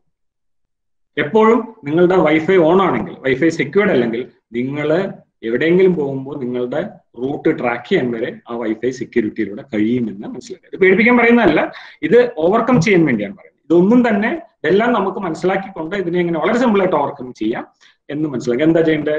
വളരെ സിമ്പിൾ ആയിട്ട് ഒരു പാസ്വേഡ് ഇട്ട് കൊടുക്കുക. ഓക്കെ ഒരു സ്പെഷ്യൽ ക്യാരക്ടർ ഇട്ട് കഴിഞ്ഞാൽ അത് ബ്രേക്ക് ചെയ്യാൻ ഒരു കൊല്ലം എടുക്കുന്നവരാണ്. സ്പെഷ്യൽ ക്യാരക്ടർ എന്ന് പറഞ്ഞാൽ ആറ്റ് ഹാഷ് അങ്ങനെയുള്ളത് ഏതെങ്കിലും പാസ്വേഡിൽ വരികയാണെങ്കിൽ കണ്ടുപിടിക്കാനേ പറ്റില്ല എന്നാണ് പറയുന്നത്. അപ്പൊ അത്തരം കാര്യങ്ങൾ മനസ്സിൽ വളരെ ഓർത്തു വെക്കുക. നമ്മൾ അതേപോലെ പബ്ലിക് പ്ലേസസ് പോകുമ്പോൾ വൈഫൈ ഉപയോഗിക്കുകയാണ് ഇപ്പൊ ഷോപ്പിലൊക്കെ പോയ ഫ്രീ വൈഫൈ ആണ്. അപ്പൊ ഓടിച്ചാടി നമ്മൾ ചെല്ലും. അപ്പൊ എപ്പോഴും മനസ്സിലാക്കുക നമ്മൾ എടുക്കുന്നത് വൈഫൈ എന്ന് പറയുന്ന അൺസെക്യൂർഡ് ആയിട്ടുള്ള വൈഫൈകൾ ഉപയോഗിക്കരുത്. എങ്ങനെ തിരിച്ചറിയും? നമ്മൾ ആ വൈഫൈയുടെ ചിഹ്നത്തിൽ നോക്കിയാൽ പൂട്ട് അടച്ചു കിടക്കുന്നതാണ്. അത് സെക്യൂർഡ് വൈഫൈ ആണ്. പൂട്ട് തുറന്നു കാണുന്നത് അൺസെക്യൂർഡ് ആണെന്ന് മനസ്സിലാക്കുക. അത് നമ്മൾ യൂസ് ചെയ്യരുത്. ട്രാപ്പ് ചെയ്യാൻ വേണ്ടിയിട്ട് വൈഫൈ ഓൺ ചെയ്ത് വെക്കും അപ്പൊ അവിടെ ഇരിക്കുന്ന ആൾക്കാർ ട്രാപ്പ് ചെയ്യാൻ വേണ്ടിയിട്ട് നമ്മളെ ട്രാപ്പ് ചെയ്യാൻ വേണ്ടി അവന്റെ ഫോണിലുള്ള വൈഫൈ ഓൺ ചെയ്തിടും. നമ്മൾ നോക്കുമ്പോൾ കുറെ വൈഫൈ കാണും ഫ്രീ നമ്മൾ വിചാരിക്കും കുറെ ഡാറ്റ യൂസ് ചെയ്യാലെന്ന് പറയുമ്പോൾ ഓർക്കുക നിങ്ങൾക്ക് ഒന്നുകിൽ എന്തെങ്കിലും ഒരു മെസ്സേജ് ഇങ്ങോട്ട് ഇടാനോ അല്ലെങ്കിൽ നിങ്ങളുടെ ഡാറ്റ അങ്ങോട്ട് എടുക്കാനോ ആണത് യൂസ് ചെയ്യുന്നത്. എപ്പോഴും ബെറ്റർ ആയിട്ട് ഫയർവാൾ ആന്റിവൈറസ് മുതലായ സാധനങ്ങൾ നമ്മുടെ കമ്പ്യൂട്ടർ നമ്മളൊരു പ്രൈ നമ്മൾ എപ്പോഴും മനസ്സിലാക്കേണ്ട എന്താ പറയുക നമ്മുടെ ഒരു സ്വഭാവം നമ്മൾ ഫ്രീ ആയിട്ടുള്ള സാധനങ്ങൾക്ക് പിന്നാലെ പോയി. പകരം നമ്മൾ ബാങ്കിങ് ഒക്കെ ചെയ്യുകയാണെങ്കിൽ ഒരു പെയ്ഡ് ആന്റിവൈറസ് സോഫ്റ്റ്വെയർ ഉപയോഗിക്കുന്നതുകൊണ്ട് തെറ്റില്ല എന്നാണ് പറയുന്നത്. ദെൻ ആവശ്യമുണ്ടെങ്കിൽ മാത്രമാണ് നമ്മൾ ഫയൽ ഷെയറിംഗ് മോഡ് ഓൺ ചെയ്യാൻ പാടുള്ളൂ. അതേപോലെ എയർ ഡ്രോപ്പ് എന്നൊരു ഫെസിലിറ്റി ഉണ്ട്. അതെല്ലാം നമ്മൾ ആവശ്യമുണ്ടെങ്കിൽ മാത്രം നമ്മൾ ഓൺ ചെയ്താൽ മതി. യൂസർ ഐ ഡിയും പാസ്വേഡും എപ്പോഴും പ്രൊട്ടക്ട് ചെയ്ത് വെക്കുക. വലിയ കോംപ്ലിക്കേറ്റഡ് ആയിട്ടുള്ള പാസ്വേഡുകൾ ഇടണം എന്നല്ല ഉള്ള പാസ്വേഡുകളിൽ സ്പെഷ്യൽ ക്യാരക്ടർ ഒക്കെ കൊണ്ടുവന്ന് ഒന്ന് ഭംഗിയാക്കുക. അതിന് വളരെ ട്രിക്ക് ഉണ്ട്. ഒരു സിമ്പിൾ ട്രിക്ക് ഉണ്ട്. സ്പെഷ്യൽ ക്യാരക്ടർ ആദ്യത്തെ ഒരു മാസം ഏറ്റവും ബാക്കിൽ ഇടുക. നെക്സ്റ്റ് ഡേ അതിന്റെ ഒരു ക്യാരക്ടർ മുമ്പിലേക്ക് കൊണ്ടുവരിക. അങ്ങനെ അങ്ങനെ ചെയ്യുകയാണെങ്കിൽ ഒരു പാസ്വേഡ് വെച്ചിട്ടുണ്ടെങ്കിൽ നമുക്ക് ഇത് പറ്റും.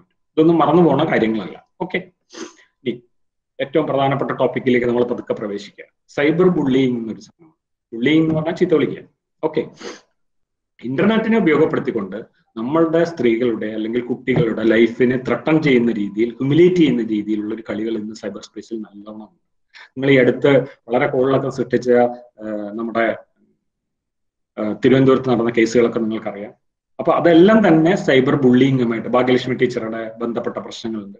അതേപോലെ ശാന്തിവിള ദിനേശിനെ ഇപ്പൊ അറസ്റ്റ് ചെയ്തിട്ടുണ്ട്. ഇതെല്ലാം നടന്ന റിയൽ സംഭവങ്ങളാണ്. നിങ്ങൾ ഒരു സിനിമ വന്നിരുന്നു. കപ്പേള എന്ന് പറഞ്ഞൊരു സിനിമ വന്നിരുന്നു. എത്ര പേര് കണ്ടിട്ടുണ്ടാവും എനിക്കറിയില്ല. ആമസോൺ പ്രൈമിലോ അല്ലെങ്കിൽ നെറ്റ്ഫ്ലിക്സിലൊക്കെ അവൈലബിൾ ആണത് അത്. കാണണം. കപ്പേള എന്ന് പറയുന്ന സിനിമ നിങ്ങൾ എല്ലാവരും കാണണം എന്നുള്ളൊരു അഭ്യർത്ഥിക്കുന്നുണ്ട് അതെല്ലാം സോഷ്യൽ മെസ്സേജ് തരുന്ന സിനിമകളാണ് ഓക്കെ അപ്പൊ സൈബർ ബുള്ളിങ് എന്ന് പറഞ്ഞാൽ കമ്പ്യൂട്ടർ ഉപയോഗപ്പെടുത്തുന്നുണ്ട് പണ്ടാണെങ്കിൽ ഒരു വേലിപ്പുറത്ത് നിന്നുകൊണ്ട് രണ്ടുപേരെ ചീത്ത വിളിക്കാനാണ്. അത് കഴിഞ്ഞ് കുറെ ക്ഷീണിക്കും. പറയുമ്പോൾ അങ്ങോട്ടും ഇങ്ങോട്ടും പറഞ്ഞ് ക്ഷീണിക്കും. ഇപ്പൊ അതല്ല മറഞ്ഞിരുന്നുകൊണ്ട് നമുക്കെതിരെ ഹ്യൂമിലേറ്റ് ചെയ്യാം. ഒരു എക്സാമ്പിൾ ഞാൻ പറയാം. ഭയങ്കര തടിയാണല്ലോ. നീ എന്ത് ഭക്ഷണം കഴിക്കണം നിന്റെ മുഖം ശരിയല്ല. ഇങ്ങനെ പറയുന്ന സിമ്പിളായി നിരുപദ്രവകരമായി തോന്നുന്ന പോസ്റ്റുകൾ ഇട്ടിട്ടാണ് ഇവർ ആദ്യം തുടങ്ങുന്നത്. അവിടെ നമ്മൾ തല കൊടുത്തു കഴിഞ്ഞാൽ അങ്ങനെ അത്തരം കേസുകൾ നമുക്ക് ശരിയല്ല എന്ന് തോന്നുന്ന ഒബ്സീൻ കണ്ടന്റുള്ള നമുക്ക് വേണ്ട എന്ന് തോന്നുന്നു നമ്മളെ ഹനിക്കുന്നു എന്ന് തോന്നുന്ന നിമിഷം അയാളെ ബ്ലോക്ക് ചെയ്യുക എന്നുള്ളതാണ് ആദ്യം ചെയ്യേണ്ടത്. ഓക്കെ ഇത് വിക്ടിമിന്റെ വിക്ടിംസിന്റെ ഹാക്ക് ചെയ്തുകൊണ്ടാവാം. അല്ലെങ്കിൽ വൾഗർ മെസ്സേജ് അയച്ചിട്ടാവാം. ത്രട്ടണിങ് വയലൻസ് ത്രട്ടൺ ചെയ്തിട്ടാവാം. ഞാനിത് പബ്ലിക് ആക്കും അങ്ങനെയാക്കും. Cyber stalking by means of call message etcetera അത് നമ്മൾ ഫോണിലൂടെ ആവാം മെസ്സേജുകളിലൂടെ ആവാം ഫോണോഗ്രാഫിയിലൂടെ ആവാം അങ്ങനെയൊക്കെ ത്രട്ടൺ ചെയ്യാനുള്ള സാധ്യതകളുണ്ട്. ഓക്കെ പ്രൈവറ്റ് ഇൻസ്റ്റന്റ് മെസ്സേജ് അയച്ചു തരും ഇവർ. ഗ്രൂപ്പ് ചാറ്റിന്റെ ഇടയിൽ കൂടെ പ്രൈവറ്റ് മെസ്സേജ് അയച്ചിട്ട് നിന്റെ സാരി ശരിയല്ല എന്നൊക്കെ പറഞ്ഞ് നമ്മളെ ഒന്ന് അപ്പൊ നമ്മൾ ആ വിട്ടിൽ വീഴുവ നോക്കുകയാണ്. ഓക്കെ ഇംപ്രനേഷൻ ഒരു ഒരു റൂമേഴ്സ് നിനക്ക് അറിഞ്ഞു? മറ്റേ കുട്ടിക്ക് ഇങ്ങനെ ഒരു പ്രശ്നം ഉണ്ട് അറിഞ്ഞു? എന്ന് ചോദിച്ചുകൊണ്ട് ചോദിക്കും. അപ്പൊ നമ്മൾ ആ വീട്ടിൽ വീണാൽ നമ്മൾ ആ കുട്ടിയെ പറ്റി എന്തെങ്കിലും ഒന്ന് പറഞ്ഞാൽ ഇത് ഇയാൾ ഇത് പറഞ്ഞു എന്ന് പറഞ്ഞിട്ടായിരിക്കും നമ്മളെ ട്രാപ്പ് ചെയ്യുന്നത്. ദെൻ എംബ്രാസിംഗ് ഫോട്ടോസും വീഡിയോസും ഇടുന്നത്. വെബ്സൈറ്റുകളും ബ്ലോഗ്സും ഉപയോഗിക്കുന്നത്. ഹുമിലിയേറ്റിംഗ് ടെക്സ്റ്റ് മെസ്സേജസ് സെൽഫോണിലേക്ക് അയക്കുന്നത്. ഇതെല്ലാം തന്നെ സൈബർ ബുള്ളിങ്ങിന്റെ വേരിയസ് ഫോംസ് ആണ്. ഇമ്പാക്ട് എന്താണ്? ഇമോഷണൽ ഡിസ്ട്രസ് നമുക്ക് തന്നെ തോന്നി എന്തിനാണ് ഇപ്പോൾ സ്കൂളിൽ പോകണം കോളേജിൽ പോകണം എന്നുള്ളൊരു അവധി വരും. ഫിയർ വരും പേടി വരും. ഇപ്പൊ സ്കൂൾ വർക്ക് തന്നെ നമുക്ക് താഴോട്ട് പോകും കോളേജ് വർക്ക് താഴോട്ട് പോകും. ജോബ് പ്രിഫറൻസിൽ നമുക്ക് ജോ ജോലിക്ക് പോണ്ട എന്ന് തോന്നും ജോലി വിട്ടാലോ എന്ന് തോന്നും. ദെൻ തോക്ക് കൊണ്ടുപോയ ചരിത്രങ്ങളുണ്ട്. ഈ സൈബർ ബുള്ളിയും കൂടി കൂടിയിട്ട് തോക്ക് യു പിയിലൊക്കെ ഉണ്ടായിട്ടുണ്ട്. തോക്ക് മഹാരാഷ്ട്രയിൽ ഉണ്ടായിട്ടുണ്ട്. തോക്കും കൊണ്ട് കുട്ടി സ്കൂളിൽ ചെന്നു. അച്ഛന്റെ തോക്ക് അടിച്ചുകൊണ്ട് പോയി. കാരണം അവൻ വെടിവെച്ച് കൊല്ലാൻ പോവാണ് ഈ ദേഷ്യത്തിൽ ഇതെല്ലാം നടക്കാം. ആത്മഹത്യയിലെത്താം. അപ്പൊ ശരിക്കും നമ്മുടെ ഇന്ത്യയിൽ അതിനുവേണ്ടി സ്ട്രോങ് ആയിട്ടുള്ള ആക്ടുകൾ ഉണ്ടായിരുന്നില്ല. പക്ഷെ ഇൻഫർമേഷൻ ടെക്നോളജി ആക്ട് രണ്ടായിരം വന്നോട് ആക്ടിൽ ആക്ടിൽ അറുപത്തേഴ് എന്ന് പറയുന്ന ഭാഗത്തിൽ ഇത് വളരെ ക്ലിയർ ആയിട്ട് വിസ്തരിച്ച് പറഞ്ഞിട്ടുണ്ട്. നമുക്ക് അടുത്തതിലേക്ക് വരാം. ആ സ്ലാബിൽ വരുമ്പോൾ ഞാൻ പറഞ്ഞുതരാം. അപ്പൊ നമ്മൾ ഓർക്കേണ്ടത് ഇത്രയേ ഉള്ളൂ. നമുക്ക് കിട്ടുന്ന സാധനങ്ങളെല്ലാം സത്യമല്ല എന്ന് ആദ്യം മനസ്സിലാക്കാം വാട്സാപ്പിലോ ഫേസ്ബുക്കിലോ അതേപോലെ എവിടെന്നെങ്കിലും കിട്ടുന്ന റൂമേഴ്സുകളൊന്നും ശരിയല്ല. അത് കൊണ്ട് തന്നെ ആ നെറ്റ്വർക്കുകൾ നമ്മൾ അതേ നെറ്റ്വർക്കുകൾ നമ്മൾ അല്ലെ പാവങ്ങൾക്ക് വേണ്ടിയിട്ട് റേഷൻ ഷാപ്പുകൾക്ക് വേണ്ടിയിട്ടൊക്കെ ഉപയോഗിക്കുന്ന നെറ്റ്വർക്ക് തന്നെയാണ് നമ്മൾ വാട്സാപ്പിൽ ആവശ്യമില്ലാത്ത മെസ്സേജുകൾ ഫോർവേഡ് ചെയ്യാൻ ഉപയോഗിക്കുന്നത്.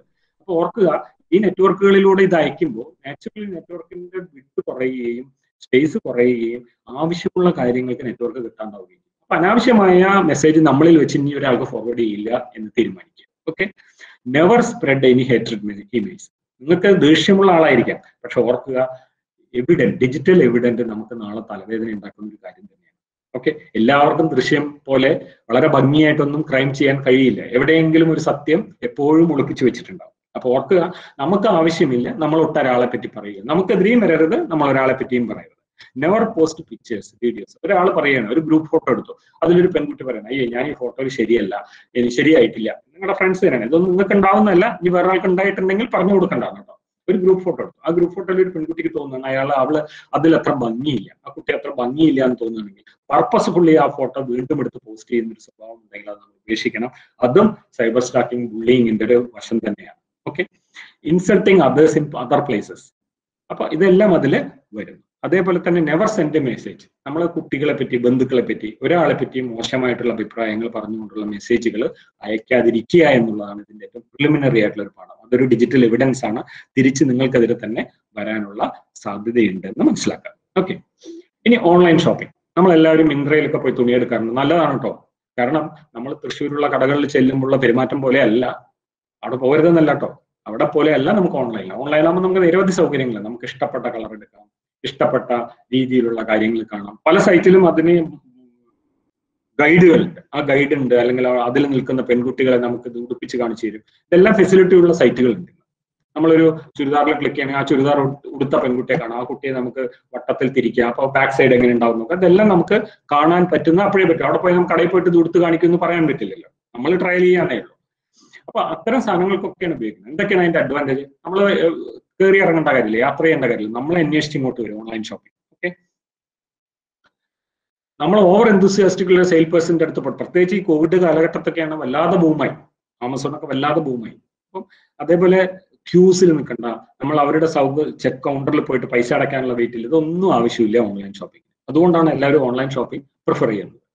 പക്ഷെ എങ്ങനെയാണ് സൈബർ ക്രിമിനൽസ് ഓൺലൈൻ ഷോപ്പിംഗ് വഴി പെൺകുട്ടികളെ ടാർഗറ്റ് ചെയ്യുന്നത്? സൈബർ സൈറ്റുകളുണ്ട്. പല സൈറ്റുകളുണ്ട്. ഫേക്ക് സൈറ്റുകളുണ്ട്. ആമസോണും നല്ല നല്ല സൈറ്റുകളുണ്ട് ഇപ്പുറത്ത് അതേപോലെ തന്നെ ഫേക്ക് സൈറ്റുകളുണ്ട്. അതിൽ അവർ പറയുന്നത് ബ്രാൻഡഡ് ആയിട്ടുള്ള പല സാധനങ്ങളും. ഇപ്പൊ ജോക്കി. ജോക്കി എന്ന് പറയുന്ന അതിനൊരു ബ്രാൻഡാണ് അതിനൊരു വിലയുണ്ട്. അത് ഇവർ പറയും ജോക്കിക്ക് സെക്കൻഡ് സെയിലാണ് നല്ല നല്ല സാധനങ്ങൾ ഞങ്ങൾ ഇതാ നിങ്ങൾക്ക് തരികയാണ്. വിറ്റഴിക്കലാണ് എന്ന് പറയും. ഓക്കെ അപ്പൊ expensive branded products at low cost natural remedies തരാം. വെയിറ്റ് ലോസിന് വേണ്ടി നാച്ചുറൽ റെമഡീസ് ഒരു പൊടി കുടിച്ചാൽ മതി. നിങ്ങളുടെ വെയിറ്റ് കമ്മിയാവും. എക്സ്പെൻസീവ് ജ്വല്ലറി നല്ല വില തനിഷ്ക് പോലുള്ള ജ്വല്ലറികളൊക്കെ ധാന്യങ്ങൾ കുറഞ്ഞ വിലയ്ക്ക് കിട്ടും. ഇങ്ങനെ തുടങ്ങി ഒരുപാട് കാര്യങ്ങൾ നമ്മളെ തരുന്ന സൈറ്റുകളുണ്ട്. ഇ കോമേഴ്സ് സൈറ്റ് ജെന്യൂൻ ആണോ എന്ന് പരിശോധിക്കണം. ഈ ക്രെഡിറ്റ് കാർഡ് നമ്മൾ ആ സൈറ്റിൽ ഒരു ക്രെഡിറ്റ് കാർഡോ ഡെബിറ്റ് കാർഡോ കൊടുക്കുകയാണെങ്കിൽ ആ സൈറ്റ് സെക്യൂർഡ് ആണെന്ന് നമ്മൾ പരിശോധിക്കണം. നമ്മുടെ ഇൻഫർമേഷൻ കിട്ടിക്കഴിഞ്ഞാൽ പിന്നെ അത് വിൽക്കാൻ സാധ്യതയുണ്ടോ എന്ന് നമ്മൾ മനസ്സിലാക്കണം. Shipping are you correct product തന്നെയാണോ കിട്ടിയത്? പലതും കാണിച്ചു തരുന്ന പ്രോഡക്റ്റ് അല്ല വരുന്നത് എന്നുള്ള കാര്യം നമ്മൾ മനസ്സിലാക്കണം. റിവ്യൂസ് നോക്കണം. എപ്പോഴും ജനങ്ങളുടെ റിവ്യൂസ് ഒരു സൈറ്റ് എടുക്കുമ്പോൾ നമ്മൾ പരിശോധിച്ച് നോക്കണമെന്ന് മനസ്സിലാക്കുക. റിട്ടേൺ പോളിസി ക്യാഷ് ഡെലിവറി ഉണ്ടോ? ക്യാഷ് ഡെലിവറി ഇല്ലെങ്കിൽ സൂക്ഷിക്കുക അത് അപകടം പിടിച്ച സൈറ്റാണ് ഓക്കെ ക്യാഷ് ഓൺ ഡെലിവറി എന്നാണ് ഞാൻ ഉദ്ദേശിച്ചത്. എങ്ങനെയാണ് ഓൺലൈൻ ഷോപ്പിംഗിലെ സേഫ്റ്റി ടിപ്പുകൾ എടുക്കുന്നത്? നമ്മളെപ്പോഴും നമ്മുടെ കമ്പ്യൂട്ടർ ഫ്രീ സോഫ്റ്റ്വെയറുകൾക്ക് പോകാതെ ഫ്രീ സോഫ്റ്റ്വെയർ എന്ന് പറഞ്ഞാൽ ഓപ്പൺ സോഴ്സ് അല്ല ഞാൻ ഉദ്ദേശിച്ചത്. വിൻഡോസ് തന്നെ ക്രാക്കഡ് വേർഷൻസ് ഒന്നും ഉപയോഗിക്കാതിരിക്കുക. അതിൽ നല്ല നിങ്ങൾക്ക് ഓപ്പൺ സോഴ്സ് ഉപയോഗിക്കാമല്ലോ അതായത് നമുക്ക് ഒരുപാട് ഓപ്പൺ സോഴ്സ് സോഫ്റ്റ്വെയറുകൾ ഉണ്ട്. അത് ഉപയോഗിച്ചുകൊണ്ട് നമുക്ക് വിൻഡോസ് പോലെ തന്നെ വർക്ക് ചെയ്യുന്ന മെഷീൻസ് നമുക്ക് ഉണ്ട്. അപ്പൊ അത് ഉപയോഗിക്കുക. ഓൺലി ട്രസ്റ്റഡ് സൈറ്റിൽ ഉപയോഗിക്കുക. എങ്ങനെ അറിയുന്നത് trusted site H T T പിയും ഉണ്ട് H T T P S ഉണ്ട്. Always prefer H T T P S S എന്ന് പറഞ്ഞാൽ സെക്യൂർഡ് ആണ്. സെക്യൂർഡ് എന്ന് പറഞ്ഞാൽ എന്താ അർത്ഥം അറിയോ? കമ്പ്യൂട്ടർ സ്റ്റുഡൻസിന് അറിഞ്ഞിരിക്കണം. S T T P S എന്ന് പറയുന്നതുകൊണ്ട് അത് സെക്യൂർഡ് ആവുന്നത് എങ്ങനെയാണ് അവരെ പരിശോധിച്ചിട്ടുണ്ടെന്നാണ് ആ സൈറ്റ് കിട്ടുന്നതിന് മുമ്പ് ഒരു സർട്ടിഫിക്കറ്റ് കൊടുക്കും. അപ്പൊ ഇന്ന ആൾക്കാരാണ് ആ സർട്ടിഫിക്കറ്റ് കൊടുത്തിട്ടുള്ളത് എന്നുള്ളത് മനസ്സിലാവും. അത്രേ ഉള്ളൂ കേട്ടോ അതായത് അയാളെ പരിശോധിച്ച് നോക്കിയിട്ടുള്ള ഒരു സൈറ്റാണ് H T T P S then ഓഫറുള്ള ലിങ്കുകൾ ദയവായിട്ട് ക്ലിക്ക് ചെയ്യാതിരിക്കുക. നിങ്ങളുടെ പേഴ്സണൽ ഡാറ്റ അടിച്ചുകൊണ്ട് പോകാനുള്ള എല്ലാ സാധ്യതകളും ഉണ്ട്. കാർഡ് ഡീറ്റെയിൽസ് ഒരിക്കലും സേവ് ചെയ്യാതിരിക്കുക. ഓരോ തവണയും കൊടുത്തോ? വിരോധമില്ല. കാർഡ് ഡീറ്റെയിൽസ് നമ്മൾ സേവ് ചെയ്യാതിരിക്കുക. പാസ്വേഡ് എപ്പോഴും ചേഞ്ച് ചെയ്യുക. പാസ്വേഡ് ടൂത്ത് ബ്രഷ് പോലെ തന്നെയാണ്. Always change it never due to somebody else നമ്മൾ ടൂത്ത് ബ്രഷ് ആർക്കും കൊടുക്കാറില്ലല്ലോ. അതേപോലെ തന്നെയാണ് പാസ്വേഡ് പാസ്വേഡും ടൂത്ത് ബ്രഷും ഒരുപോലെയാണെന്ന് നിങ്ങൾ ഓർമ്മിക്കുക. അൺസെക്യൂർഡ് ആയിട്ടുള്ള നെറ്റ്വർക്കുകൾ ഉപയോഗിക്കാതിരിക്കുക. പ്രധാനപ്പെട്ട പാട്ടിലേക്ക് വീണ്ടും വരുന്നു നമ്മൾ കുറച്ചുകൂടെ ഡീപ്പ് ആവുകയാണ് നമ്മൾ സോഷ്യൽ എഞ്ചിനീയറിംഗ് സൈറ്റുകൾ ഉണ്ട് അല്ലേ എല്ലാവർക്കും ഉണ്ട്. വാട്സാപ്പ് ഉണ്ട് ടെലിഗ്രാം ഉണ്ട്. അതുപോട്ടെ ഫേസ്ബുക്ക് ഉണ്ട്. അങ്ങനെ തുടങ്ങി. ഇപ്പൊ ഫേസ്ബുക്കും വാട്സാപ്പും വളരെ പ്രമാദമായ ഒരു ഇന്ത്യ ഗവൺമെന്റുമായിട്ട് ഒരു കേസ് നടന്നുകൊണ്ടിരിക്കുകയാണ്. നിങ്ങൾക്ക് എല്ലാവർക്കും അറിയാം.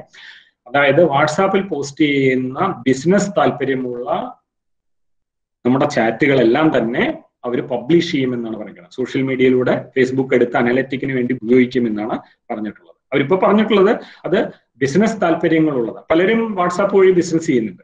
ആ ബിസിനസ് താല്പര്യങ്ങൾ അറിയാൻ വേണ്ടിയാണെന്ന് പറഞ്ഞിരിക്കുന്നത് പക്ഷെ അതിന്റെ പിന്നിൽ ഒരു ഹിഡൻ അജണ്ട ഉണ്ടാവാം. അതാണ് സുപ്രീം കോടതിയും ഗവൺമെന്റും നോക്കിക്കൊണ്ടിരിക്കുന്നത് ഓക്കെ നമ്മളുടെ ഹ്യൂമൺ എലിമെന്റ് ഉണ്ട്. എല്ലാത്തിലും എല്ലാ സൈബർ അറ്റാക്കുകൾക്കും ഒരു ഹ്യൂമൺ എലിമെന്റ് ഉണ്ടെന്ന് വിചാരിക്കുക. Social engineering is an approach to gain access to information to misinterpretation അതായത് നമുക്ക് ഒരു സോഷ്യൽ എഞ്ചിനീയർ അപ്രോച്ച് ചെയ്ത് ഒരു ഒരു ഒരു പെൺകുട്ടിയെ അപ്രോച്ച് ചെയ്തിട്ട് പല തരത്തിൽ നമുക്ക് സോഷ്യൽ മീഡിയ വഴി പെൺകുട്ടിയെ അപ്രോച്ച് ചെയ്യാൻ സാധിക്കും. അത് നമ്മൾ മനസ്സിലാക്കി കൊണ്ടുവേണം. അടുത്ത സ്ലൈഡിലേക്ക് നമ്മൾ പോവാം. എങ്ങനെയൊക്കെയാണ് സോഷ്യൽ എഞ്ചിനീയറിംഗ് നമ്മളെ സ്ത്രീകളെ ടാർഗറ്റ് ചെയ്യുന്നത്? ഒന്ന് പബ്ലിക് പ്ലേസസിൽ വെച്ചിട്ട്. പബ്ലിക് പ്ലേസസിൽ വെച്ചിട്ട് ഇവർ പരസ്പരം കൈമാറുന്ന ഗോസിപ്പുകളോ പരസ്പരം കൈമാറുന്ന ഡീറ്റെയിൽസോ ഇപ്പോൾ വർക്ക് ചെയ്യുന്നവരാണെങ്കിൽ അവരുടെ വർക്കിന്റെ ഡീറ്റെയിൽസ് പബ്ലിക് പ്ലേസസിൽ വെച്ച് പറയുമ്പോൾ തൊട്ട് ബാക്കിൽ ഇരിക്കുന്ന ആളാവാം ഒരു ഒരു ഹാക്കർ അയാൾ ഇത് കേൾക്കാൻ സാധ്യതയുണ്ട്. പേഴ്സണൽ പ്രൈഡ് ഓർ കോൺഫിഡൻസിന് വേണ്ടി ഞാൻ ഇങ്ങനെ ചെയ്തു ഞാൻ ഇത്ര ലക്ഷം രൂപയുടെ ബിസിനസ് ചെയ്തു അല്ലെങ്കിൽ ഞാൻ ഇങ്ങനെ ചെയ്തു എന്ന് പറയുമ്പോൾ അത് കേൾക്കാൻ വേറെ ആളുണ്ടോ ഓർ ഹിയർ ചെയ്യാനുണ്ടെന്ന് വിചാരിക്കാം. വിഷിംഗ് വിഷിംഗ് എന്ന് പറയുന്നത് വോയിസ് വഴി നിങ്ങളെ പ്രലോഭിപ്പിക്കുക. അതായത് നിങ്ങൾക്ക് ലോട്ടറി അടിച്ചു. നിങ്ങൾ അറിഞ്ഞു നിങ്ങൾ ഏറ്റവും ബെസ്റ്റ് സെന്റ് മേരീസിലെ ഏറ്റവും ബെസ്റ്റ് പെൺകുട്ടിയാണ്. അതുകൊണ്ട് തന്നെ ഈ കോളേജിന്റെ വക നിങ്ങൾക്ക് ഒരു ലക്ഷം രൂപ ഉണ്ട് എന്ന് പറഞ്ഞ് ഒരാൾ വിളിക്കുകയാണെങ്കിൽ നമ്മൾ മനസ്സിലാക്കണം. ഇത് ശരിയാണോ? അറ്റ്ലീസ്റ്റ് ഇത് ശരിയാവുമോ ഞാൻ എന്തെങ്കിലും അങ്ങനെ ആവാൻ വേണ്ടി ഞാൻ മത്സരിച്ചിട്ടുണ്ടോ എന്ന് മനസ്സിലാക്കണം. അതാണ് ഫിഷിംഗ് ഫിഷിംഗ് എന്ന് പറയുന്നത് നിങ്ങൾക്ക് ഒരു ഇമെയിൽ കിട്ടുകയാണ്. അതിൽ പറയുന്നു നിങ്ങൾക്ക് ലോട്ടറി അടിച്ചിട്ടുണ്ട്. ഈ ലിങ്ക് ക്ലിക്ക് ചെയ്യും. സ്മിഷിംഗ് എന്ന് പറയുന്നത് നിങ്ങൾക്ക് ഒരു എസ് എം എസോ വാട്സാപ്പോ കിട്ടുന്ന പോലെയാണ്. ബെയ്റ്റിംഗ് എന്ന് പറയുന്നത് ആക്ച്വലി പലതരത്തിൽ അതായത് നമ്മളെ മിസ്ഇന്റർപ്രറ്റ് ചെയ്ത് നമ്മളെ കൊണ്ടുപോയി ചാടിക്കുന്ന ഒരു രീതിയിലേക്കാണ് പറയുന്നത്. അതായത് ഒരു എക്സാമ്പിൾ പറയുകയാണെങ്കിൽ ഇപ്പോൾ ഡംസ്റ്റർ ഡ്രൈവ് ഡൈവിംഗ് ഉണ്ട്. ഡംസ്റ്റർ ഡൈവിംഗ് എന്ന് പറയുന്നത് നമ്മളൊരു പെൻ ഡ്രൈവ് ഒരു വഴിയിൽ കിടന്ന ഒരു പെൻ ഡ്രൈവ് എടുത്തിട്ട് ഇപ്പോഴത്തെ ഏറ്റവും ലേറ്റസ്റ്റ് ടെക്നിക്കാണത് നിങ്ങൾ വരുന്ന വഴിയിൽ പെൻ ഡ്രൈവ് ഇട്ട് വയ്ക്കും ആ പെൻ ഡ്രൈവ് നിങ്ങൾ എടുക്കുന്നുണ്ടോ എന്ന് ആ പെൻഡ്രൈവിന്റെ അകത്ത് നിങ്ങളുടെ കമ്പ്യൂട്ടറിനെ കൺട്രോൾ ചെയ്യാൻ കഴിയുന്ന സോഫ്റ്റ്വെയർസ് ഉണ്ടാവും. നിങ്ങൾ അത് കൊണ്ടുപോയി കുത്തേണ്ട താമസം അത് നിങ്ങളുടെ കമ്പ്യൂട്ടറിലേക്ക് എടുക്കുകയും അതിനെ കൺട്രോൾ ചെയ്യാനും സാധിക്കുന്ന മെത്തേഡുകൾ ഉണ്ട്. അതാണ് ഡംസ്റ്റർ ഡൈവിംഗ് എന്ന് പറയുന്നത്. ഡേറ്റിംഗ് എന്ന് പറയുന്നത് ഇതിന്റെ എല്ലാം കൂടി ഒരു കോമ്പിനേഷനാണ് അത് മനസ്സിലാക്കിയാണ്. പെർസ്യൂഷൻ നിങ്ങളെ പറഞ്ഞ് പ്രലോഭിപ്പിക്കുക. ഞാൻ ഇപ്പൊ നേരത്തെ നിങ്ങൾ കണ്ട വീഡിയോ അതാണ്. പെർസ്യൂഷൻ നിങ്ങൾ ബാങ്കിൽ നിന്നാണ് വിളിക്കുന്നത്. നിങ്ങൾ ഒരു ട്രാൻസാക്ഷൻ നടത്തിയിട്ടുണ്ടോ? നിങ്ങളുടെ അക്കൗണ്ട് ബ്ലോക്ക് ചെയ്യാൻ പോവാണ് എന്ന് ചോദിച്ചിട്ട് പിന്നീട് ചോദിക്കുന്ന എല്ലാം പേഴ്സണൽ ഇൻഫർമേഷൻ ആണ്. ഓക്കെ ദെൻ ഹോക്സിംഗ് എന്ന് പറയുന്നത് ഇതിന്റെ എല്ലാത്തിന്റെയും കൂടെ ഒരു ഒരു ഒരു കോമ്പിനേഷനെയാണ് നമ്മളത് പറയാറ് യൂഷ്വലി ഇതെല്ലാം തന്നെ ഓർക്കുക ഇതെല്ലാം നമ്മളെ ടാർഗറ്റ് ചെയ്യാൻ വേണ്ടിയിട്ടുള്ളതാണ്. ഇത് വളരെ സിമ്പിൾ ആയിട്ട് നമുക്ക് അവോയ്ഡ് ചെയ്യാം. ഒന്ന് അവോയ്ഡ് കെയർലെസ് ടാക്സ് പബ്ലിക് പ്ലേസസിൽ നമ്മൾ കെയർലെസ് ആയിട്ടുള്ളത് ഒഴിവാക്കുക. പബ്ലിക് പ്ലേസസിൽ നമ്മൾ പോസ്റ്റ് ചെയ്യാതിരിക്കുക. അതായത് നമ്മുടെ സോഷ്യൽ മീഡിയയിൽ നമ്മുടെ സെൻസിറ്റീവ് ഇൻഫർമേഷൻ പോസ്റ്റ് ചെയ്യാതിരിക്കുക. Then never share your password ആർക്കും കൊടുക്കാതിരിക്കാം. ഒരു ഒരു ഹാബിറ്റ് ഉണ്ട് നമുക്ക്. നമ്മൾ വരാത്ത ദിവസം ഡേ എന്റെ പാസ്വേഡ് ഉണ്ട്. ഒന്ന് നീ ഒന്ന് ശരിയായി കൊടുത്ത് എന്ന് പറയാതിരിക്കുക. ജോലി കിട്ടിയിട്ടുള്ള കഥയാണ് പറയുന്നത് കേട്ടോ. ഇനി ഫൈനാൻഷ്യൽ ഇൻഫർമേഷൻ ഒരിക്കലും ആൾക്കാർക്ക് കൊടുക്കാതിരിക്കുക. ഫോണിലൂടെ പറയാതിരിക്കുക. നിങ്ങൾ ഫിഷിംഗ് ഇമെയിൽ കിട്ടിയെങ്കിൽ ഒരിക്കലും ഓപ്പൺ ചെയ്യാതിരിക്കുക. നിങ്ങൾക്ക് മനസ്സിലായത് ഫിഷിംഗ് ആണെന്ന് പറഞ്ഞാൽ വീണ്ടും ക്ലിക്ക് ചെയ്ത് നോക്കരുത്. ഡോണ്ട് ഗെറ്റ് ടെംപ്റ്റഡ് അതായത് ഹോക്സിംഗ് എന്ന് പറയുമ്പോഴേ നമ്മൾ സാധാരണ ഒരു സൈറ്റിൽ ചെല്ലുമ്പോൾ ഒരു അഡ്വർടൈസ്മെന്റ് ഒക്കെ കാണാറുണ്ട്. ഇവിടെ ക്ലിക്ക് ചെയ്യും നിങ്ങളുടെ സിസ്റ്റം ഇൻഫെക്റ്റഡ് ആണ് എന്ന് പറഞ്ഞിട്ട് അഡ്വർടൈസ്മെന്റ് വരാറുണ്ട്. അല്ലെ? ആ അഡ്വർടൈസ്മെന്റ് ക്ലിക്ക് ചെയ്താണ് ഇൻഫെക്ഷൻ വരിക. അപ്പൊ അത്തരം കാര്യങ്ങളാണ് ഹോക്സിംഗ് എന്നുകൊണ്ട് ഉദ്ദേശിക്കുന്നത്. അതേപോലെ don't get tempted to accessing the devices which is lift അതാണ് ഞാൻ പറഞ്ഞ നേരത്തെ പറഞ്ഞില്ലേ? അവിടെ വഴിയിൽ കിടന്ന് കിട്ടുന്ന സാധനങ്ങൾ എടുത്തുകൊണ്ട് പോകുന്നത്. അതൊരു പുതിയ പരിപാടിയാണ്. Strangers try to fool you by creating false situation and make you to believe in order to collect confidential information നിങ്ങളെ പറഞ്ഞ് വിശ്വസിപ്പിക്കുന്ന തരത്തിൽ വിളിക്കും. Okay then don't believe the emails അതായത് ലോട്ടറി അടിച്ചു നിങ്ങൾ നിങ്ങൾ രാജകുമാരിയാണ് രാജാവ് നിങ്ങളെ ദത്തെടുക്കാൻ പോകണം അങ്ങനെയൊക്കെ ഒരു അങ്ങനെയൊക്കെ മെയിലുകൾ വരും. അതായത് ഈ നൈജീരിയയിലെ രാജാവിന് കുട്ടികളൊന്നുമില്ല. നിങ്ങളെ ഞങ്ങൾ കുറച്ചു കാലം മോണിറ്റർ ചെയ്യണം നിങ്ങളെ ഏറ്റവും ബെസ്റ്റ് കുട്ടിയാണ്. ഇതേ പിടിച്ചു അഞ്ചു കോടി രൂപ. എന്നൊക്കെ പറയുമ്പോൾ മനസ്സിലാക്കണം. അങ്ങനെയൊന്നും യാതൊരു സാധ്യതയില്ല. ഇന്ത്യയിലുള്ള ആൾക്കാരെ ചെയ്യുന്നില്ല. പിന്നല്ലേ നൈജീരിയയിൽ ഓക്കെ എഴുപത് ശതമാനം പാരന്റ്സും വിചാരിക്കുന്നത് അവരുടെ കുട്ടികൾക്ക് അവരെക്കാളും അറിയാവുന്നതാണ്. അതാണ് നമ്മുടെ അപകടം മനസ്സിലായോ? പാരന്റ്സ് അധികം വിചാരിക്കുന്നത് കുട്ടികൾക്ക് എന്നെക്കാളും അറിയാവുന്നതാണ്. ഇതാണ് അടുത്ത criteria cyber predators and bullies എന്ന് പറയും. അതായത് ഇരപിടിക്കുന്ന ജീവികളെ. ഞങ്ങൾ അങ്ങനെ പറയാറ്. സൈബർ ലോകത്ത് ഇരപിടിക്കാൻ വേണ്ടി കുറെ എണ്ണം ഉണ്ട്. കുട്ടികളെയും സ്ത്രീകളെയും വശീകരിക്കാൻ വേണ്ടി കുറെ എണ്ണം ഉണ്ട്. എങ്ങനെ ഇവരെ നമ്മൾ തിരിച്ചറിയും? ഇതിനാണ് പതിനഞ്ച് മെത്തേഡ് ഉണ്ട്. വളരെ സിമ്പിൾ ആയിട്ട് നിങ്ങൾക്ക് അവരെ കണ്ടുപിടിക്കാം. നിങ്ങൾ ടീച്ചർമാരെ നിങ്ങളെ ചീത്ത പറയും. പക്ഷേ ഈ സൈബർ പ്രിഡേറ്റർ ഒരിക്കലും നിങ്ങളെ ചീത്ത പറയും. നിങ്ങൾ പറയുന്ന എല്ലാം ശരിയെന്ന് പറയും കാരണം എന്താ? അവരുടെ ലക്ഷ്യം വേറെയാണെന്ന് മനസ്സിലാക്കാം. They look very nice sound very nice want to have conservation in private നമ്മളായിട്ട് പ്രൈവറ്റ് ചാറ്റിംഗ് വേണം അല്ലെ എന്ന് പറയും. എപ്പോഴും. നമുക്ക് ഒന്ന് പ്രൈവറ്റ് ആയിട്ട് ചാറ്റ് ചെയ്യാന്ന് പറയാം. അല്ലെങ്കിൽ നിങ്ങൾക്ക് സ്പെഷ്യൽ ആയിട്ട് ഗ്രൂപ്പ് ചാറ്റിന്റെ ഇടയിൽ ഒരു മെസ്സേജ് അയച്ചു തരും. പേഴ്സണൽ ഇൻഫർമേഷൻ ചോദിക്കും അത് എങ്ങനെ ചോദിക്കും? നിങ്ങളോട് പറയും നിങ്ങൾ കറുപ്പ് സാരിയിൽ വളരെ നല്ലതാണെന്ന് പറയും. എന്നിട്ട് നിങ്ങളെ വശീകരിച്ച ശേഷമാണ് പറയുന്നത്. നിങ്ങളുടെ ഇഷ്ടാനിഷ്ടങ്ങൾ നിങ്ങളുടെ നിങ്ങളെ നിങ്ങളെക്കുറിച്ച് സൂക്ഷ്മമായി ഫേസ്ബുക്കിലൂടെയോ അല്ലെങ്കിൽ വാട്സാപ്പ് ചാറ്റുകളിലൂടെയോ റിലേ റൂമുകളിലൂടെയോ നിങ്ങളുടെ ഡീറ്റെയിൽസ് നിങ്ങളെ മനസ്സിലാക്കി വെച്ചിട്ടാണ് പറയുന്നത്. നിങ്ങളുടെ പേഴ്സണൽ ഇൻഫർമേഷൻ മനസ്സിലാക്കിയിട്ടാണ് കൂടുതൽ വിവരങ്ങൾ ചോദിക്കുക.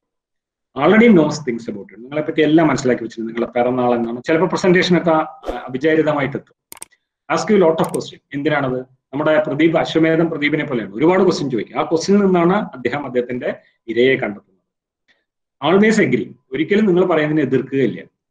ദെൻ അടുത്ത സ്റ്റെപ്പിൽ നിങ്ങളെ പതുക്കെ എതിർത്ത് തുടങ്ങും okay try to make you feel special നിങ്ങളുടെ അടുത്ത് പറയും നിങ്ങൾ ഭയങ്കര സംഭവമാണ് സൂപ്പർ ആണെന്നൊക്കെ പറഞ്ഞു കളയും want to see you in a vulnerable state നിങ്ങളെ വളരെ വിഷമത്തിൽ കാണാൻ ഇഷ്ടമായിരിക്കും. അയാൾക്ക് എപ്പോഴും അങ്ങനെയുള്ള സ്റ്റേറ്റുകളിൽ കാണാൻ ഇഷ്ടപ്പെടും. എപ്പോഴും മറ്റുള്ള ആൾക്കാരെ നിങ്ങളെ ഗ്രൂപ്പിൽ നിന്ന് അകറ്റാൻ വേണ്ടി ഗ്രൂപ്പിനെ തെറ്റിക്കാൻ നോക്കുക. നിങ്ങൾ ആ ഗ്രൂപ്പിൽ ഇങ്ങനെ ആവശ്യമില്ലാത്ത കമന്റ് ഇടിച്ച് നിങ്ങളെ കൊണ്ട് ഗ്രൂപ്പിൽ നിന്ന് അകറ്റി ഒറ്റയ്ക്കാക്കാൻ നോക്കും നിങ്ങൾക്ക് ഗിഫ്റ്റുകൾ ഓഫർ ചെയ്യും. ലാസ്റ്റിലേക്ക് എത്തുമ്പോൾ പറയും വീഡിയോ ചാറ്റ് ചെയ്യാന്ന് പറയും okay pursue in to meeting in person എന്ന് പറയും. അതിനുശേഷമാണ് ത്രട്ടൺ ചെയ്യും. ഓക്കെ അങ്ങനെ തുടങ്ങി നിങ്ങളെ ചെയ്യുന്നതാണ് പ്രിഡേറ്ററിന്റെ ഒരു എക്സാമ്പിൾ ഈ പ്രിഡേറ്റേഴ്സിനെ കണ്ടുപിടിച്ച് മാത്രം പോരാ. ഈ പ്രിഡേറ്റേഴ്സിനെ നിങ്ങൾ കണ്ടുപിടിച്ച് കഴിഞ്ഞാൽ നിങ്ങൾ അവരിൽ നിന്ന് അകന്നു നിൽക്കാൻ ശ്രമിക്കുക. നിങ്ങൾക്ക് ഇഷ്ടപ്പെട്ടില്ല എന്ന് തോന്നുകയാണെങ്കിൽ അവരെ ബ്ലോക്ക് ചെയ്യാനുള്ള ഇഷ്ടമാതിരി വഴികളുണ്ട്. അപ്പം വീണ്ടും അവർ ശല്യം ചെയ്യണമെങ്കിൽ മടിക്കരുത് പ്രതികരിക്കാൻ നോക്കുക. അതിലേക്കുള്ള നമുക്ക് വരാം. ഈ ഒരു സ്ലൈഡ് കൂടെ. സെൽഫീസ് ഉണ്ട്. എല്ലാവരും സെൽഫി എടുക്കുന്ന കാലഘട്ടത്തിലൂടെയാണ് നമ്മൾ പോകുന്നത്. അപകടമാണ് സെൽഫി എന്ന് മനസ്സിലാക്കുക. ഒരുപാട് മരണങ്ങൾ സെൽഫിയിലൂടെ സംഭവിച്ചിട്ടുണ്ട്. ഒരു കാരണവശാലും മനസ്സിലാക്കുക. ജീവിതം ഉണ്ടെങ്കിലേ സെൽഫി ഉള്ളൂ. ആവശ്യമില്ലാതെ ആ അതിനൊക്കെ ലൈഫ് വൈറലായി എന്ന് പറയുന്നതിന്റെ ലൈഫ് വളരെ കുറവാണെന്ന് നമ്മൾ മനസ്സിലാക്കാം ഓക്കെ ആറ് റീസൺ ഉണ്ട്. സെൽഫി അപകടമാണെന്ന് പറയാൻ കാരണം. ഒന്ന് സോഷ്യൽ കണക്ഷൻ സെലക്റ്റീവ് അറ്റൻഷൻ കിട്ടാൻ വേണ്ടിയിട്ടാണ് ഇന്നബിലിറ്റി ടു മൾട്ടി ടാസ്ക് നമ്മുടെ ബ്രെയിനിന് ഒരു കുഴപ്പമുണ്ട്. ബ്രെയിൻ കമ്പ്യൂട്ടർ മൾട്ടി ടാസ്ക് ആണ്. പക്ഷെ ബ്രെയിൻ മൾട്ടി ടാസ്ക് അല്ല. അപ്പൊ നിങ്ങളൊരു കെട്ടിടത്തിന്റെ മേലെ വലിഞ്ഞു കയറി സെൽഫി എടുക്കുമ്പോൾ താഴോട്ട് വീഴും എന്നുള്ള ഒരു മിനിറ്റ് കൊണ്ട് നമ്മുടെ ബ്രെയിൻ മറന്നു പോകും. ഈ ഹാർഡ്വെയർ ടു പാമ്പിനെ കണ്ട പേടിക്കാൻ വേണ്ടി നമ്മുടെ ബ്രെയിൻ ട്രെയിൻഡ് ആണ്. പക്ഷെ സെൽഫിയെ കണ്ട പേടിക്കാൻ നമ്മുടെ ബ്രെയിൻ ഇതുവരെ പഠിച്ചിട്ടില്ല. അടുത്ത തലമുറ ചിലപ്പോൾ പേടിക്കുമായിരിക്കും കേട്ടോ. ബാഡ് റിസ്ക് വാല്യൂഷൻ ഒന്നും സംഭവിക്കില്ല എന്നുള്ളൊരു തോന്നൽ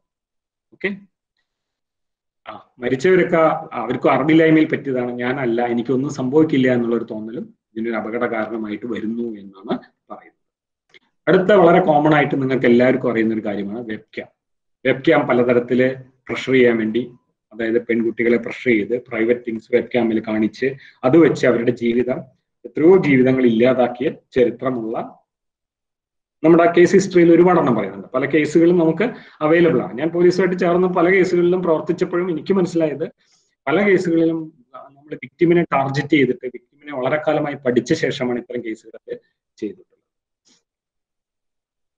നിങ്ങൾക്ക് അറിയുന്ന ഒരാളാണെന്ന് എപ്പോഴും ഒരേ പ്രായത്തിലുള്ള ആളാണെന്ന് പറഞ്ഞിട്ടായിരിക്കും നിങ്ങളെ സമീപിക്കുന്നത്. Or even pretend to be someone you know നിങ്ങളെ അറിയുന്ന ആൾ തന്നെയാണോ? They chat and flirt online they start to chat about sex they ask for private selfies online private സെൽഫികൾ കാണാൻ പറയും. നിങ്ങൾ നന്നായിട്ടുണ്ടെന്ന് പറയും. Then they threaten I will share this picture ഞാൻ അയച്ചു കൊടുക്കും. നിങ്ങളുടെ ബന്ധുക്കൾക്ക് അയച്ചു കൊടുക്കും. എന്നെല്ലാം പറഞ്ഞ് നിങ്ങളെ ത്രട്ടൺ ചെയ്യും. ഓക്കെ എന്താണ് വഴി? ഒറ്റ കാര്യം മനസ്സിൽ തീരുമാനിക്കുക don't do anything on web cam you don't want web cam എന്നുകൊണ്ട് ഉദ്ദേശിക്കുന്നത് മൊബൈലിലാണ് കേട്ടോ ഇപ്പോൾ വെബ് ക്യാം എന്ന് പറയുന്നത് വെബ് ക്യാമിൽ മാത്രമല്ല മൊബൈൽ എല്ലാത്തിലും. നമ്മുടെ ഫാമിലിക്കോ സുഹൃത്തുക്കൾക്കോ കാണാൻ പറ്റാത്ത ഒന്നും തന്നെ ക്യാമറയ്ക്ക് മുമ്പിൽ വേണ്ട എന്നാണ് ആദ്യത്തെ ഇനി എപ്പോഴെങ്കിലും ആരെങ്കിലും നിങ്ങളെ ത്രട്ടൺ ചെയ്യണമെങ്കിൽ നിങ്ങൾക്കില്ലെങ്കിൽ നിങ്ങളുടെ ഫ്രണ്ട്സിനെ ചെയ്തിട്ടുണ്ടെങ്കിൽ അവരെ ഇമ്മീഡിയറ്റ് ആയിട്ട് ബ്ലോക്ക് ചെയ്യാൻ പറയുക. എപ്പോഴും ഒരു അഡൽട്ടിനോട് നിങ്ങൾ തുറന്നു പറയുക. അപ്പൊ അഡൽട്ടിനെ ആദ്യം നിങ്ങൾ വിശ്വസിക്കണം. ആ വിശ്വസിക്കുക വിശ്വാസത്തിൽ എടുക്കാൻ പറ്റുന്ന ആളാണെന്ന് തോന്നുകയാണെങ്കിൽ തീർച്ചയായിട്ടും നിങ്ങളുടെ ടീച്ചർമാരോ നിങ്ങളുടെ അല്ലെങ്കിൽ പാരന്റ്സോ ഒക്കെ തന്നെയാണ് ആദ്യത്തെ അഡൽട്ട് അവരോട് പറയണം. ഇല്ലെങ്കിൽ നിങ്ങൾക്ക് ഒരുപാട് വഴികളുണ്ട് കൗൺസിലേഴ്സ് ഉണ്ട് അവരോട് പറയാം. ചൈൽഡ് ലൈൻ കുട്ടികളുമായിട്ട് ബന്ധപ്പെട്ടാണ് ചൈൽഡ് ലൈൻ നമ്പർ ഉണ്ട് അവരെ വിളിക്കാം. ഒന്ന് മാത്രം മനസ്സിലാക്കാം. നേരത്തെ നമ്മുടെ മാഡം പറഞ്ഞ പോലെ അബ്യൂസർ ആണ് ലോ ബ്രേക്ക് ചെയ്തത്. നിങ്ങളല്ല. അത് ആദ്യം മനസ്സിലാക്കണം. അതുകൊണ്ട് തന്നെ നിങ്ങളുടെ ജോലിയല്ല അയാളെ കണ്ടുപിടിക്കേണ്ടത്. അത് കണ്ടുപിടിക്കേണ്ടത് പോലീസിന്റെ ജോലിയാണ്. If it is already happen അപ്പോൾ എപ്പോഴും മനസ്സിലാക്കുക ലേറ്റ് ആയിട്ടില്ല എന്ന് മനസ്സിലാക്കുക. സംഭവിച്ചു കഴിഞ്ഞാൽ ഡോണ്ട് ബി പാനിക് ഒരിക്കലും പാനിക് ആവരുത്. നല്ലൊരു ശ്വാസം വലിച്ചങ്ങോട്ട് വിടുക. ദാറ്റ്സ് ഓൾ അതോടുകൂടി നമ്മൾ പകുതി റെഡിയാവും ഓക്കെ എന്നിട്ട് പറയുക യു എനിക്ക് സപ്പോർട്ട് വേണമോ? വേണ്ടയോ? എന്ന് തീരുമാനിക്കാം സപ്പോർട്ട് വേണമെങ്കിൽ ആരെയും ഞാൻ സമീപിക്കും. ഓക്കെ ഏത് പോലീസ് സ്റ്റേഷനിലേക്ക് നിങ്ങൾക്ക് കയറിച്ചല്ല കേരളത്തിലെ എല്ലാ പോലീസ് സ്റ്റേഷനിലും ഡിജിറ്റൽ കേസുകൾ കൈകാര്യം ചെയ്യാനുള്ള കോമ്പറ്റന്റ് ആയിട്ടുള്ള ആൾക്കാരുണ്ട്. ഇനി അവർക്ക് പറ്റാത്താണെങ്കിൽ അവർ സൈബർ സിവിലിലേക്ക് അയച്ചു കൊടുക്കും. ഒരു ആവശ്യമില്ല സൈബർ കേസുകൾ സൈബർ സെല്ലിൽ മാത്രമേ എടുക്കൂ എന്നില്ല. മനസ്സിലാക്കുക? ബി ഹോണസ്റ്റ് സത്യസന്ധമായിട്ട് പറയാം. ഇന്നത് നടന്നു എന്ന് പറയാം. അപ്പൊ മാത്രമാണ് നിങ്ങളെ ഹെൽപ്പ് ചെയ്യാൻ പറ്റുക അവർക്ക്. ഇത് ആരെങ്കിലും ഇങ്ങനത്തെ ഒരു കേസിൽ പെട്ടിട്ടുണ്ടെങ്കിൽ അവരെ സഹായിക്കുക. If you decided to do something don't waste അവരെ വേസ്റ്റ് ചെയ്യാതെ നിങ്ങൾ അപ്പൊ തന്നെ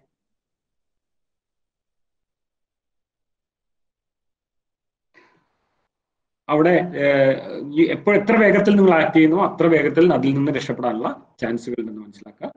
നിങ്ങൾ ഇങ്ങനെ സ്വയം പറയുക. ഞാൻ ഒരു തെറ്റ് ചെയ്തു. അതിൽ നിന്ന് നിങ്ങളല്ല കേട്ടോ നിങ്ങൾക്ക് അറിയുന്ന ഒരാളിൽ ഇതിൽ പെട്ടിട്ടുണ്ടെങ്കിൽ അവരോട് പറഞ്ഞു കൊടുക്കേണ്ടതാണ്. റിയലി സ്റ്റുപ്പിഡ് ആയിരുന്നു. ഞാൻ അതിൽ നിന്ന് പാഠം പഠിച്ചുകൊണ്ട് ഞാൻ ഇതാ മുന്നോട്ട് പോവുകയാണ്. ഞാൻ ശക്തിയാണെന്ന് മനസ്സുകൊണ്ട് ഓക്കെ സ്നാപ്ചാറ്റ് എന്നൊരു പരിപാടിയുണ്ട്. നിങ്ങളെ പറഞ്ഞു പറ്റിപ്പിക്കാൻ ഇതൊരു സെക്കൻഡേ നിൽക്കുള്ളൂ. ഇതിപ്പോ തന്നെ പോകും എന്ന് പറഞ്ഞിട്ടാണ് അധികം പേരും ഈ സെൽഫി ചോദിക്കാറ്. അതായത് അനാവശ്യമായ സെൽഫികളോ അല്ല അനാവശ്യമായ ഫോട്ടോ ചോദിക്കുമ്പോൾ അവർ പറയുന്നത് ഇത് തന്നെത്താൻ മാഞ്ഞു പോകും എന്ന് പറഞ്ഞാൽ നിങ്ങൾ കാണിച്ചു തരും. മാഞ്ഞു പോകും ശരിയാണ്. പക്ഷെ ആ മാഞ്ഞു പോകുന്നതിന് മുമ്പ് സ്ക്രീൻഷോട്ട് എടുക്കാൻ പറ്റുമെന്ന് മാത്രം മനസ്സിലാക്കുക. ഫേസ്ബുക്ക് ഇതേപോലെയുള്ള സോഷ്യൽ മീഡിയയിലുള്ള പബ്ലിഷ് ചെയ്യാനുള്ള ഒരു സ്ഥലമാണ്. പതിമൂന്ന് വയസ്സ് ആയിട്ടുണ്ടെങ്കിൽ മാത്രമേ ഫേസ്ബുക്കിൽ ജോയിൻ ചെയ്യാൻ പറ്റുള്ളൂ എന്നാണ് അവരുടെ റൂൾ പറയുന്നത്. പക്ഷെ എനിക്ക് തോന്നുന്നത് രണ്ട് വയസ്സ് കഴിഞ്ഞാൽ തന്നെ കുട്ടികളൊക്കെ ഫേസ്ബുക്കിലുണ്ട് പലരും. ഓക്കെ അവർക്ക് നമുക്കൊക്കെ ഫേസ്ബുക്ക് ഓപ്പൺ ചെയ്ത് കൊടുത്തു എന്ന് പാരന്റ്സ് ക്രെഡിറ്റോട് പറയുന്ന പലതും ഞാൻ കേട്ടിട്ടുണ്ട്. അപ്പൊ എനിവേ അതിൽ നിങ്ങൾ നിങ്ങളുടെ ഫ്രണ്ട്സിനെ മാത്രമാക്കി നിർത്തുക. ഫേസ്ബുക്ക് ഹെൽപ്പ് സെന്ററുമായിട്ട് ബന്ധപ്പെടുക വല്ല പ്രശ്നങ്ങളുണ്ടെങ്കിൽ ദെൻ വല്ലാതെ ഇതാണെങ്കിൽ നിങ്ങൾ അവരെ ബ്ലോക്ക് ചെയ്യാൻ നിങ്ങൾക്ക് പറ്റും. സെക്യൂരിറ്റി സെറ്റിംഗ്സിനകത്ത് ഫ്രണ്ട്സ് ഓൺലി ആക്കി മാറ്റുക. Then friends need to people ഫ്രണ്ട്സിന്റെ ഫ്രണ്ട്സ് അതിൽ തന്നെ നിർത്തണം. അല്ലാതെ നമ്മൾ പബ്ലിക് എന്ന് പറയുന്ന ഒരു ഓപ്ഷനിലേക്ക് ഒരിക്കലും പോകരുത്. പോസ്റ്റ് ചെയ്യുന്ന കണ്ടന്റ് എപ്പോഴും സഭ്യതയുള്ള കണ്ടന്റുകൾ നമ്മൾ പോസ്റ്റ് ചെയ്യുക. Then try to you very best on friends with your own Facebook നമ്മുടെ കുട്ടികൾ ആരെങ്കിലും ഉണ്ടെങ്കിൽ അല്ലെങ്കിൽ നിങ്ങളുടെ ചേച്ചിമാരുടെ മക്കൾ ഉണ്ടെങ്കിൽ അല്ലെങ്കിൽ ചേട്ടന്മാരുടെ മക്കൾ ഉണ്ടെങ്കിൽ അവരെ കൂടി ഹെൽപ്പ് ചെയ്യുക. ഇഷ്യൂ ഉണ്ടെങ്കിൽ തീർച്ചയായിട്ടും റിപ്പോർട്ട് ചെയ്യുക. ഓക്കെ ഇനി എന്താണ് പേഴ്സണൽ എന്താണ് നോൺ പേഴ്സണൽ പേഴ്സണൽ എന്ന് പറയുന്നത് അഡ്രസ്സ് നമ്മുടെ തല- തലമുടിയുടെ കളർ ഫോൺ നമ്പർ പേര് അതെല്ലാം പേഴ്സണൽ ആണെന്ന് വിചാരിക്കുക. ഡേറ്റ് ഓഫ് ബർത്ത് എല്ലാം പേഴ്സണൽ ആണ്. നോൺ പേഴ്സണൽ എന്ന് പറയുന്നത് അൺനോൺ നിക് നെയിം അപ്പൊ നമ്മളെപ്പോഴും സോഷ്യൽ മീഡിയയിൽ സഞ്ചരിക്കുമ്പോൾ നമ്മളൊരു നിക് നെയിമിൽ അറിയപ്പെടുക. Okay don't give actual name കൊടുക്കണ്ട. അതേപോലെ തന്നെ അവതാർ അപ്പൊ ഉടനെ നിങ്ങൾ മിടുക്കികളാണ്. എന്റെയൊക്കെ സോഷ്യൽ മീഡിയ നോക്കിയിട്ട് സാറിന്റെ ഒക്കെ പേര് അത് തന്നെയാണല്ലോ എന്ന് പറഞ്ഞാൽ നമ്മളൊക്കെ ഒരു ഒഫീഷ്യൽ പോസ്റ്റിൽ ഇരിക്കുന്നതുകൊണ്ട് നമുക്ക് നിവൃത്തിയില്ലാത്തതുകൊണ്ട് ചെയ്യണം. റൈറ്റ് അപ്പൊ നമ്മളെപ്പോഴും സോഷ്യൽ മീഡിയകളിലൂടെ പോകുമ്പോൾ പറയുന്നത് ആക്ച്വൽ നെയിം വേണ്ട. വേറെ പേരുകളിൽ ഉപയോഗപ്പെടുത്തിക്കൊണ്ട് പറഞ്ഞാൽ മതി. അത് പേഴ്സണൽ ഡാറ്റ കൂടുതലായിട്ട് അതിൽ പബ്ലിഷ് ചെയ്യേണ്ട എന്നർത്ഥം. പേരിടുന്നതിൽ തെറ്റില്ല.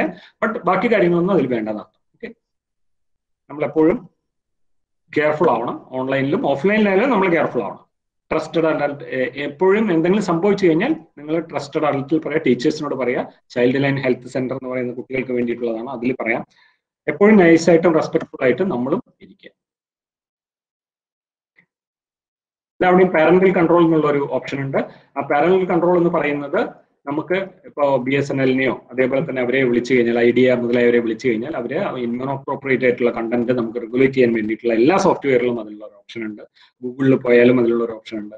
നമുക്ക് അത്തരം കണ്ടന്റുകൾ നമുക്ക് അപ്പം തന്നെ തടയാൻ പറ്റും. കാരണം ആഡുകളൊക്കെ കയറി വരും പലപ്പോഴും. നമുക്കറിയില്ലല്ലോ പല തരത്തിലുള്ളതാണ് ആഡുകൾ അപ്പം അങ്ങനത്തെ കാര്യങ്ങളെല്ലാം നമുക്ക് കൺട്രോൾ ചെയ്യാൻ സാധിക്കും. ഇന്ന് സോഫ്റ്റ്വെയറിൽ തന്നെ അതിനുള്ള പ്രൊവിഷൻസ് ഉണ്ടെന്ന് മനസ്സിലാക്കാം. ഓക്കെ നമുക്ക് അത്ര കാര്യമായിട്ട് ആവശ്യമില്ല. ഇതാണ് ഞാൻ പറഞ്ഞത്. സേഫ് ബ്രൗസിംഗ് എന്നൊരു ഓപ്ഷൻ ഉണ്ട് ഗൂഗിളിൽ എപ്പോഴും അത് അപ്പൊ അനാവശ്യമായ കണ്ടന്റുകളോ അനാവശ്യമായ ആഡുകളോ അതിലൂടെ കയറി വരില്ല എന്ന് മനസ്സിലാക്കുക. കുട്ടികളുള്ള വീടുകളാണെങ്കിൽ നമ്മൾ കുട്ടികളെ എപ്പോഴും മനസ്സിലാക്കുക ഏതൊക്കെ സൈറ്റുകളാണ് അവർ വിസിറ്റ് ചെയ്യുന്നത് നമ്മൾ വെരിഫൈ ചെയ്യണം. ദെൻ സെക്യൂരിറ്റി സെറ്റിംഗ് നമ്മൾ സെറ്റ് ചെയ്ത് വെക്കുക കുട്ടികൾക്ക് വേണ്ടി. എപ്പോഴും എന്റെ കുട്ടിയോട് ചോദിക്കുക. ആരുമായിട്ടാണ് അവർ ചാറ്റ് ചെയ്യാറ്? അറിയുന്ന ആൾക്കാർ മാത്രമല്ല? അറിയാത്ത ആരെങ്കിലോ ഫ്രണ്ട്സോ അവരുടെ അറിയാത്ത ലിസ്റ്റിലുണ്ടോ എന്ന് നമ്മൾ പരിശോധിക്കണം. സേഫ് സെറ്റിംഗ് നമ്മൾ നടത്തണം. എന്തുണ്ടായാലും നമ്മളെ പറയാൻ നമ്മളോട് ഷെയർ ചെയ്യാൻ പഠിപ്പിക്കണം. ആദ്യം വേണ്ടത് ഏത് വീട്ടിലായാലും പരസ്പരം ഷെയറിംഗ് ആയിട്ടുള്ള ഒരു കാര്യമാണ്. നമ്മൾ ഹൈഡ് ചെയ്യേണ്ട കാര്യമില്ല. കാരണം ചെറിയൊരു കാര്യമായിരിക്കാം ഭാവിയിൽ വലിയൊരു സംഭവമായിട്ട് വരും ഇനി ഹൈബർ ഹൈജീൻ സൈബർ ഹൈജീൻ എന്ന് പറയുന്ന ഒരു ടേം ഉണ്ട് ഇപ്പോൾ ഹൈജീൻ എന്ന് പറയുന്നത് നമ്മളെല്ലാവരും വൃത്തിയുള്ള ആൾക്കാരാണ്. ഓക്കെ വളരെ വൃത്തിയുള്ള ആൾക്കാരാണ് എല്ലാവരും. മലയാളി കുളിക്കും മൂന്ന് നേരം. പക്ഷെ മലയാളിയുടെ ഡിജിറ്റൽ ഹൈജീൻ വളരെ പിന്നിലാണെന്നാണ് ഒരു സ്റ്റഡി പറയുന്നത്. കാരണം ഹൈജീൻ എന്ന് പറഞ്ഞുകൊണ്ട് കൊണ്ട് ഉദ്ദേശിക്കുന്നത് നമ്മുടെ കമ്പ്യൂട്ടറും ഫോണും എല്ലാം വൃത്തിയായി സൂക്ഷിക്കുക എന്നുള്ളതാണ്. ആവശ്യമുള്ള സാധനങ്ങൾ മാത്രം ഡൗൺലോഡ് ചെയ്ത് വെക്കുക. സ്ട്രോങ് പാസ്വേഡ്സ് ഉപയോഗിക്കുക. ഞാൻ നേരത്തെ പറഞ്ഞു അതേപോലെ സെക്യൂർ ആയിട്ടുള്ള വെബ്സൈറ്റ് മാത്രമേ പോകുള്ളൂ എന്നൊരു തീരുമാനം എടുക്കുക. എഫക്റ്റീവ് അപ്ഡേറ്റ് ആന്റിവൈറസ് സോഫ്റ്റ്വെയറുകളൊക്കെ അതൊക്കെ കമ്പ്യൂട്ടർ സ്റ്റുഡൻസിന് അറിയാം. അല്ലാത്തവരാണെങ്കിൽ മനസ്സിലാക്കുക ആന്റിവൈറസ് സോഫ്റ്റ്വെയറുകൾ ഉപയോഗിക്കുക. ഫ്രീ സോഫ്റ്റ്വെയറുകൾ കഴിയുന്നതും ഒഴിവാക്കുക. ഒന്നും ഈ ലോകത്ത് ഫ്രീ അല്ല എന്ന് മനസ്സിലാക്കുക. ഇനി ഇതുകൂടി നിങ്ങൾ അറിഞ്ഞിരിക്കണം. ഇൻഫർമേഷൻ ആക്ട് നിലവിലുണ്ട് ഇന്ന്. ആ ആക്ടിൽ പല കാര്യങ്ങളും വളരെ വ്യക്തമായി നമ്മളെ സഹായിക്കാൻ വേണ്ടി അതിന്റെ അകത്ത് പറഞ്ഞിട്ടുണ്ട്. സെക്ഷൻ സിക്സ്റ്റി സിക്സ് പറയുന്നത് പാസ്വേഡോ ഡിജിറ്റൽ സിഗ്നേച്ചറോ അതുപോലുള്ള എന്തെങ്കിലും ഒന്ന് ഉപയോഗിച്ചുകൊണ്ട് അയാൾ തട്ടിയെടുക്കുകയാണെങ്കിൽ ഫേക്ക് ഐഡന്റിറ്റി ഉണ്ടാക്കുകയാണെങ്കിൽ അയാൾക്ക് മൂന്ന് വർഷം തടവും ഒരു ലക്ഷം രൂപ പിഴയുമാണെന്ന് മനസ്സിലാക്കുക. നിങ്ങൾക്കറിയാമായിരിക്കും ഒരു വളരെ പ്രധാനപ്പെട്ട കോൺട്രവേഴ്സി ആയിട്ടുള്ള ഒരു കാര്യമുണ്ട് sixty six sixty six A supreme കോടതി സ്ക്രാപ്പ് ഡൗൺ ചെയ്തതാണ്. അതായത് അങ്ങനെ ഒരു റൂൾ ഉണ്ടായിരുന്നു. നമ്മൾ അതിൽ അഭിപ്രായങ്ങൾ രേഖപ്പെടുത്തുമ്പോൾ ഒരാളെ പറ്റി മോശമായിട്ട് അതുകൊണ്ടാണ് നമുക്ക് ശരിക്കും നിയമമില്ല. ഇപ്പോ ശാന്തിവിള ദിനേശിനെ പോലുള്ള ആൾക്കാർക്കെതിരെ എടുക്കാൻ ആക്ച്വൽ റൂളിൽ ആക്ച്വലായിട്ട് അതിലൊരു വകുപ്പില്ല ഇപ്പോൾ അതുകൊണ്ട് തന്നെ പുതിയൊരു ലോ ഇനി വരണം. സിക്സ്റ്റി സിക്സ് എ ഉണ്ടായിരുന്നതിനെ സ്ക്രാപ്പ് ചെയ്ത് കളഞ്ഞു. അത് കളയാൻ കാരണം അത് ഫണ്ടമെന്റൽ റൈറ്റിന് എഗൈൻസ്റ്റ് ആയിരുന്നു. ഫ്രീഡം ഓഫ് സ്പീച്ച് എന്നൊരു കാര്യമുണ്ടല്ലോ നമുക്ക്. ആർക്കും പറയാൻ. അയാൾക്ക് സ്വാതന്ത്ര്യമുണ്ട്. എന്തിനെ പറ്റിയും വിശകലനം ചെയ്ത് പറയാൻ. ഇന്ത്യയിൽ അതിലുള്ള സ്വാതന്ത്ര്യമുണ്ട്. ജനാധിപത്യ രാഷ്ട്രമാണ്. പക്ഷെ സിക്സ്റ്റി സിക്സ് എ എന്ന് പറഞ്ഞ ഒരു ക്ലോസിൽ അതിന് എഗൻസ്റ്റ് ആയിട്ടുള്ള കാര്യങ്ങൾ ഉണ്ടെന്ന് പറഞ്ഞ് സുപ്രീം കോടതി അത് സ്പ്രെഡ് ഡൗൺ ചെയ്തു. പക്ഷെ നമുക്ക് ഇനിയിപ്പോൾ ഉള്ളത് സിക്സ്റ്റി സിക്സ് ബി ഒക്കെ ഉണ്ട്. അതിൽ പറയുന്നത് someone cheating using computer resources of communication device എല്ലാം imprisonment up to three years and one lakh penalty വരാം. സിക്സ്റ്റി സിക്സ് ഇയിൽ പറയുന്നത് ഇതാണ് നമുക്ക് ഉപയോഗിക്കുന്നത്. അത് പെൺകുട്ടികൾക്ക് എഗേൻസ്റ്റ് ആയിട്ട് എന്തെങ്കിലും ചെയ്യുകയാണെങ്കിൽ സിക്സ്റ്റി സിക്സ് ഇയിൽ പറയുന്നുണ്ട് ഇമേജോ അല്ലെങ്കിൽ ചാറ്റുകളോ അവരുടെ കൺസേൺഡോ നോളജോ ഇല്ലാതെ അയച്ചു കഴിഞ്ഞാൽ മൂന്ന് വർഷം തടവും രണ്ട് ലക്ഷം രൂപ പിഴയുമാണ് പറഞ്ഞിരിക്കുന്നത്. സിക്സ്റ്റി സിക്സ് എഫിൽ പറയുന്നത്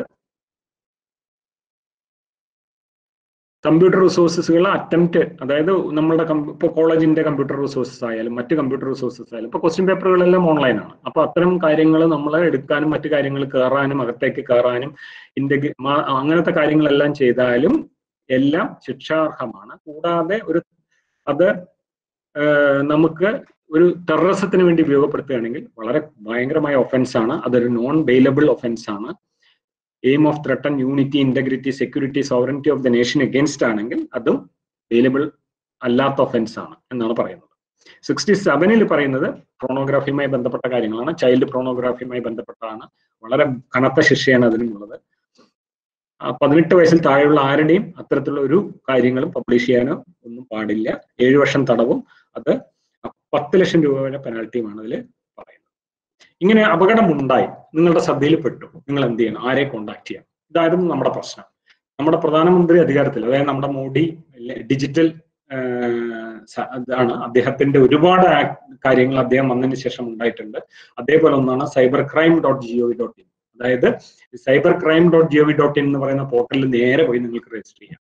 വിത്ത് സ്ക്രീൻഷോട്ട്സ് ഒക്കെ വെച്ചുകൊണ്ട് ഇങ്ങനെ ഒരു അപകടം ഉണ്ടായിട്ടുണ്ട് എന്ന് പറഞ്ഞാൽ അതിന് നടപടികൾ അവിടെ നിന്ന് നിർദ്ദേശിക്കുന്നതിനനുസരിച്ച് മിനിസ്ട്രി ഓഫ് ഹോം അഫയേഴ്സിൽ ചെല്ലുകയും പോലീസിന് എത്തുകയും അവരെ അന്വേഷിക്കുകയും ചെയ്യും. പക്ഷെ അതിൽ നമുക്ക് പോകാൻ പറ്റാനുള്ള സമയം കിട്ടില്ല നമുക്ക്. ഇപ്പൊ കേരള പോലീസ് എന്ന് പറയുന്ന കേരള പോലീസിന്റെ ഒരു സൈറ്റ് ഉണ്ട് അതിൽ നമുക്ക് cyber P S dot pol at Kerala dot G V dot എന്ന് പറയുന്ന ഇമെയിലിലേക്ക് നിങ്ങൾ കംപ്ലൈന്റ് അയക്കാം. അല്ലെങ്കിൽ zero four seven one two three double two zero nine ഇത് അടിച്ചു നോക്കിയാൽ മതി. കേരള പോലീസിന്റെ വെബ്സൈറ്റിൽ ഇത് അവൈലബിൾ ആണ്. സൈബർ സെൽ തൃശ്ശൂരിനും സൈബർ സെൽ സിറ്റിക്കും റൂറലിനും വേറെ വേറെ നമ്പറുകളുണ്ട് ഇതെല്ലാം ഒരു കോമൺ പ്ലേസിൽ പറ്റും. അപ്പൊ സൈബർ സെൽ തൃശ്ശൂരിനും മെയിൽ ഐ ഡി ഉണ്ട്. അതേപോലെ തന്നെ റൂറലിനും മെയിൽ ഐ ഡി ഉണ്ട്.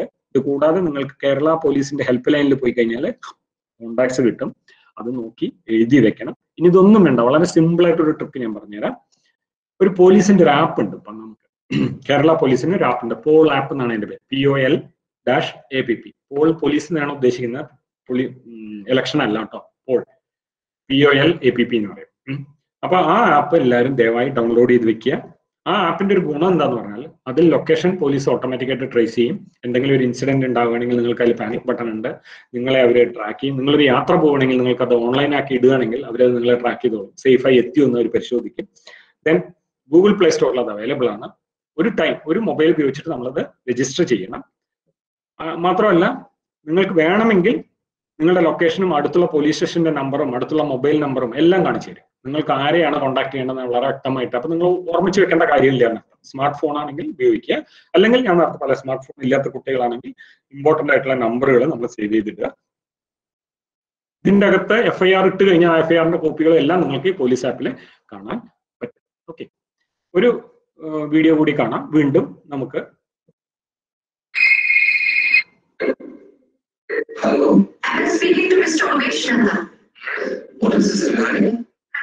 I'm Swati Mishra calling from GNC Bank. So you have been a loyal customer. So we want to send you on a free trip to Australia. On this trip, you can take one guest. So who would you like to take along with you? My wife? Oh, so sweet, sir. Uncle ji घूमना चाहते हैं और हमारा काम है उनको घुमाना sir can you give me a name and your please Uh, her name uh, Parul Mehta. Uncle ji bank security questions के साथ जवाब दिए So, when are you sending us? And would you like to go, sir? July is a birthday, no? Oh, that's great, sir. I have selected July. Of July, please help me with the sixth international travel code that we have just sent you, sir.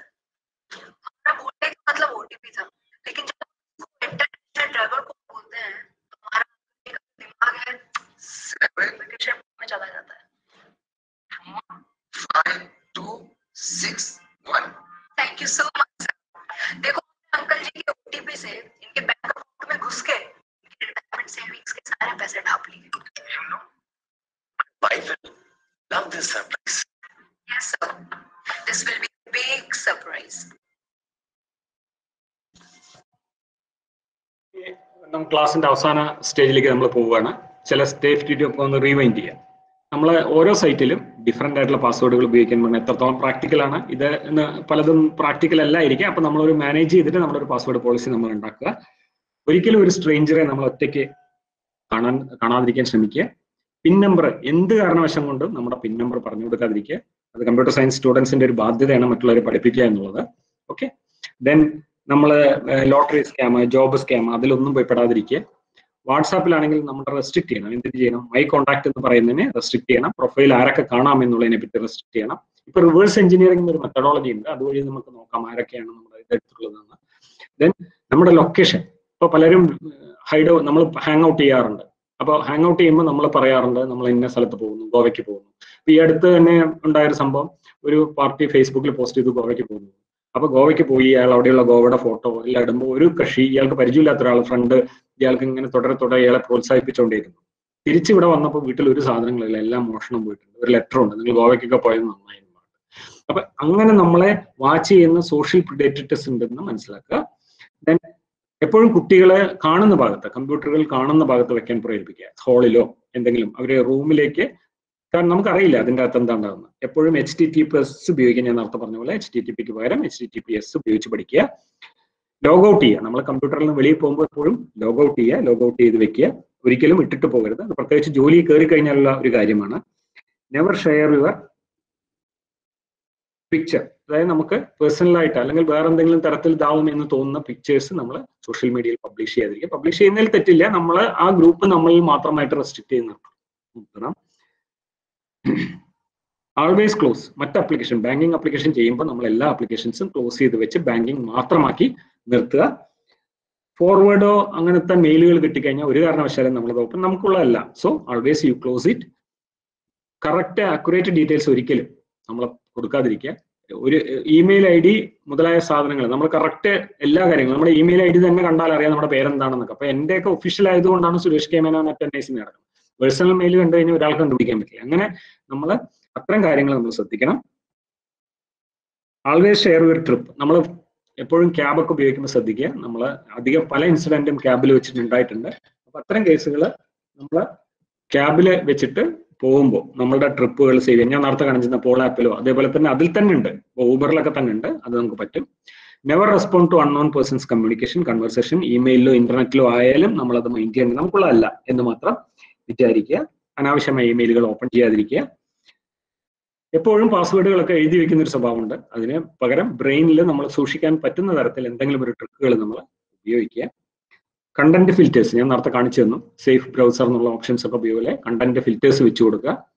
Licensed O S ഉപയോഗിക്കാൻ ശ്രമിക്കുക. Free എന്നുള്ളതിന്റെ പിന്നാലെ പോകാതെ അല്ലെങ്കിൽ open സോഴ്സിന്റെ പിന്നാലെ പോവുക. Then victim ആയാൽ ഒരു കാരണവശാലും ഹെസിറ്റേറ്റ് ചെയ്യരുത്. കംപ്ലൈന്റ് അതോറിറ്റിയെ ഇമ്മീഡിയറ്റ് ആയിട്ട് സമീപിക്കണം.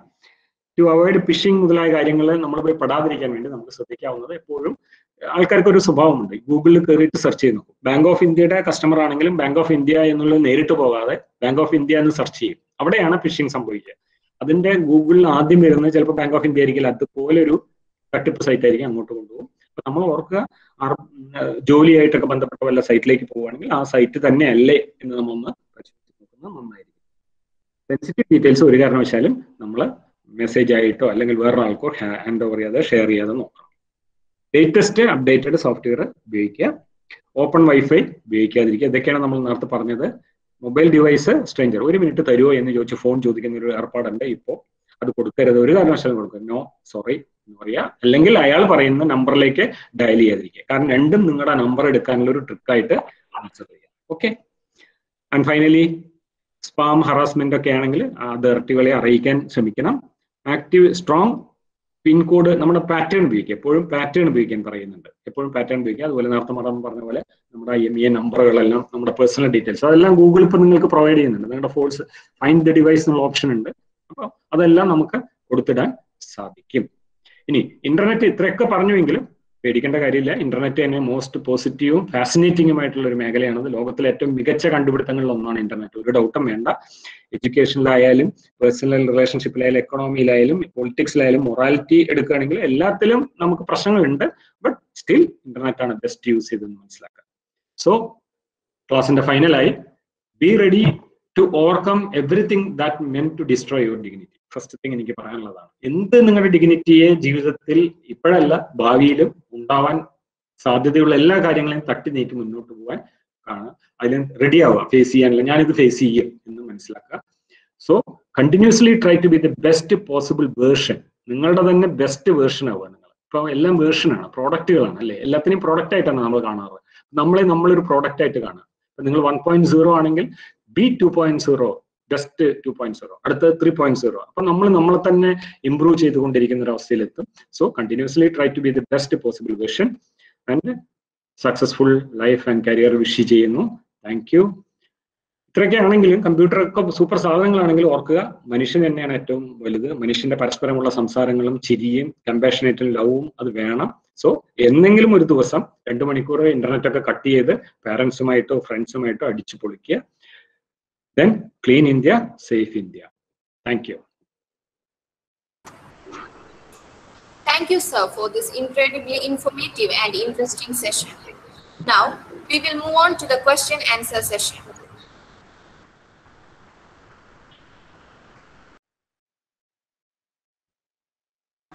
Don't forget to unmute your mic while, speaking, while asking questions.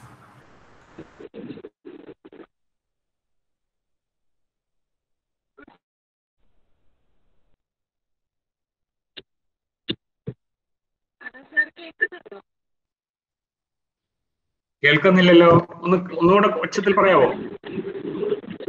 വേറെ മറ്റുള്ള കുട്ടികളൊന്ന് മൈക്ക് അൺമ്യൂട്ട് ചെയ്ത് കഴിഞ്ഞാൽ സംസാരിക്കുന്ന ആൾ മാത്രം മൈക്ക് മ്യൂട്ട് ചെയ്താ മൈക്ക് അൺമ്യൂട്ട് ചെയ്താൽ മതിയേ. ബാക്കി എല്ലാവരും ഒന്ന് അൺമ്യൂട്ട് ചെയ്യണേ പ്ലീസ് സാർ ഇപ്പൊ കേൾക്കുന്നുണ്ടോ? പറഞ്ഞോളൂ കേൾക്കാം. സാർ ഇപ്പൊ ഓൾറെഡി ജോലി കാര്യങ്ങളൊക്കെ കുറച്ച് എക്സ്പ്ലെയിൻ ചെയ്ത് തന്നു. ജെനുവിൻ ആണ് എങ്ങനെയാണ് അറിയേണ്ടതെന്നുള്ളതൊക്കെ. ഇപ്പൊ ഞങ്ങളൊരു ബി സി എ സ്റ്റുഡൻസ് ആണ്. അപ്പൊ ഞങ്ങൾക്ക് ഡെഫിനറ്റ് ആയിട്ടും ഒരു ജോലി നോക്കാന്ന് പറയുമ്പോൾ ഓൺലൈനിലായിരിക്കും നമ്മൾ സെർച്ച് ചെയ്യുന്നുണ്ടാവുക. കാരണം പല കമ്പനികളും പല സ്ഥലത്തുമാണ്. ഇപ്പൊ ഏറ്റവും കൂടുതൽ വരുന്ന ഒരു കാര്യമാണ് സെയിം കമ്പനിയുടെ അതേ ലോഗോയും എല്ലാ ഡീറ്റെയിൽസും വെച്ചിട്ട് നമുക്ക് നോട്ടിഫിക്കേഷൻസ് വരും. അപ്പൊ അങ്ങനെയുള്ള ഒരു സിറ്റുവേഷൻസിലൊക്കെ അത് ജെനുവിൻ ആണോ അല്ലയോ എന്ന് അറിയാനായിട്ട് എന്താണ് സാറിന് യെസ് നല്ല ക്വസ്റ്റ്യൻ ആണ്. അതായത് യൂഷ്വലി നമ്മൾക്കറിയാം ഗൂഗിൾ എന്ന് പറയുന്നതോ അല്ലെങ്കിൽ യാഹു എന്ന് പറയുന്ന സെർച്ച് എഞ്ചിൻസിൽ അതിന്റെ ടോപ്പിൽ കൊണ്ടിടാൻ വേണ്ടിയിട്ടുള്ള സോഫ്റ്റ്വെയർസ് ഇന്നുണ്ട്. അപ്പോൾ ഒരു പർട്ടിക്കുലർ ഇപ്പൊ ഞാനൊരു സൈറ്റ് ഉണ്ടാക്കുകയാണെങ്കിൽ എന്റെ സൈറ്റിനെ എങ്ങനെ മുകളിലേക്ക് കൊണ്ടുവരണം എന്നുള്ളതിന് ഏജൻസി ഉണ്ട്. റൈറ്റ് അപ്പം നമുക്ക് ഒരു ജോലി ഓഫർ ലഭിക്കുകയാണെങ്കിൽ അല്ലെങ്കിൽ നിങ്ങളൊരു ജോലിക്ക് പരതുകയാണെങ്കിൽ നിങ്ങൾ ഓഫ് കോഴ്സ് ഇത്തരം സൈറ്റുകളിലൂടെ കയറി പക്ഷെ നമ്മൾ അതിൽ ക്ലിക്ക് ചെയ്ത് നമ്മുടെ പേഴ്സണൽ ഡാറ്റ കൊടുക്കുന്നതിന് മുമ്പ് ആ സൈറ്റ് ആ പർട്ടിക്കുലർ കമ്പനി ലിസ്റ്റഡ് ആണോ എന്ന് നമുക്ക് നോക്കാം. മനസ്സിലായി? അതായത് അത് ഷെയർ മാർക്കറ്റിൽ ലിസ്റ്റഡ് ആണോ എന്ന് നോക്കാം. നമുക്ക് ഓഫ് കോഴ്സ് അവിടെ കാണാം. അവരുടെ ഒറിജിനൽ സൈറ്റ് നമുക്ക് കണ്ടുപിടിക്കാൻ പറ്റും. ആ ഒറിജിനൽ സൈറ്റിൽ നിന്ന് നമുക്ക് മനസ്സിലാക്കാം ഈ പറയുന്ന കാര്യങ്ങളെല്ലാം ശരിയാണോ എന്ന് മനസ്സിലാക്കാം. ഞാൻ പറഞ്ഞു വരുന്നത് നമ്മൾ ഡയറക്റ്റ് ലിങ്ക് ക്ലിക്ക് ചെയ്ത് പോകുമ്പോൾ ഒരു അപകടം ഇത് നേരത്തെ നമ്മൾ പറഞ്ഞത് പോലെ നേരത്തെ പറഞ്ഞത് ഫിഷിംഗ് ആണ്. അതായത് ഫിഷിംഗ് നമ്മളെ തെറ്റിദ്ധരിപ്പിച്ചുകൊണ്ട് വേറൊരു സൈറ്റിലേക്ക് കൊണ്ടുപോവുക. എന്നിട്ട് നമ്മുടെ പേഴ്സണൽ ഡാറ്റ എടുക്കുക. ഓക്കെ അപ്പൊ അത് ഒഴിവാക്കാനുള്ള ഏറ്റവും വഴി നമ്മൾ ഒറിജിനൽ സൈറ്റുകളിലേക്ക് ചെല്ലുക. അല്ലെങ്കിൽ റെക്കഗ്നൈസ്ഡ് ആയിട്ടുള്ള ലീഡിംഗ് ആയിട്ടുള്ള ജോബ് സീക്കിംഗ് പ്ലാറ്റ്ഫോമുകൾ ഉണ്ട്. അല്ലേ? നമുക്ക് ഒരുപാട് പ്ലാറ്റ്ഫോമുകൾ ഇന്ന് അവൈലബിൾ ആണ്. ഞാനൊരു പേരെടുത്ത് പറയാത്ത എന്താന്ന് പറഞ്ഞാൽ ഒരാളെ പ്രൊമോട്ട് ചെയ്തു എന്ന് പ്രൈവറ്റുകാരെ പ്രൊമോട്ട് ചെയ്തു എന്ന് പറയാതിരിക്കാൻ വേണ്ടിയാണ്. നിങ്ങൾക്ക് തന്നെ അറിയാം. പല ഓൺലൈൻ ഇൻ പോലുള്ള പല നമുക്ക് പ്രൊഫോമ ഇടുന്ന സാധനങ്ങളുണ്ട്. അതേപോലെ തന്നെ വേറെ പല സൈറ്റുകളും ഉണ്ട്. അവിടെയെല്ലാം നിങ്ങൾക്ക് ഇതിന്റെ ഒറിജിനാലിറ്റി പരിശോധിക്കുന്നതിന് നമുക്ക് സാധിക്കും. ഇനി ഇതൊന്നും പറ്റിയില്ലെങ്കിൽ കേരളത്തിൽ ട്രിവാൻഡ്രത്തുള്ള അല്ലെങ്കിൽ തൃശ്ശൂരുള്ള എംപ്ലോയ്മെന്റ് എക്സ്ചേഞ്ചുമായിട്ട് ബന്ധപ്പെട്ട അവർ നിങ്ങൾക്ക് ഇത് കണ്ടുപിടിച്ച് തരും. ഇതെല്ലാം അവരുടെ ഒരു ബാധ്യത കൂടി ആക്കിയിട്ടുണ്ട് ഗവൺമെന്റ് ഇപ്പോൾ. ഓക്കെ ക്ലിയർ ആയി എന്ന് വിചാരിക്കുന്നു thank U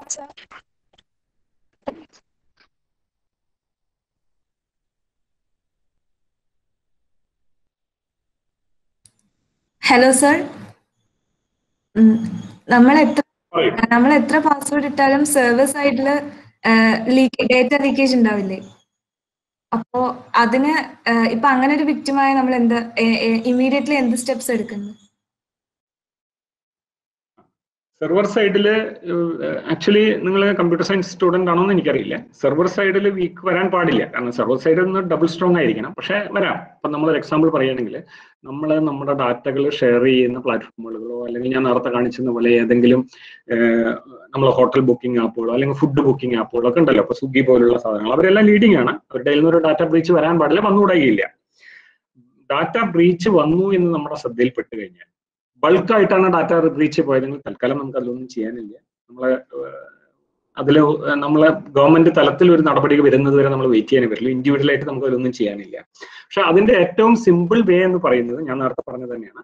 H T T P S എന്ന് പറയുന്ന സൈറ്റുകളുമായിട്ട് മാത്രം നമ്മൾ ഡീൽ ചെയ്യും ഇപ്പൊ എല്ലാ സൈറ്റുകളും H T T P S ആണ്. At least they are bound അവരത് ഒപ്പിട്ട് കൊടുക്കുന്നുണ്ട്. ഡാറ്റ ലീക്കേജ് ഉണ്ടായാൽ ഞങ്ങൾ അതിന് റെസ്പോൺസിബിൾ ആണെന്ന് ഒപ്പിട്ട് കൊടുക്കുന്നുണ്ട്. അപ്പൊ എച്ച് ടി ടി പി സൈറ്റുകൾ പോകാതെ നമ്മൾ ഡബ്ല്യൂ ഡബ്ല്യൂ ഡബ്ല്യൂ എന്ന് കൊടുത്ത് പോകുമ്പോൾ കാണാം. അടുത്ത അടുത്ത നിങ്ങൾക്കറിയാം. അടുത്തയിലേക്ക് പോകുമ്പോൾ അതിന്റെ മുകളിൽ എഴുതി കാണെങ്കിൽ എച്ച് ടി ടി പി ഉണ്ടാവും S T T P S ഉണ്ടാവും.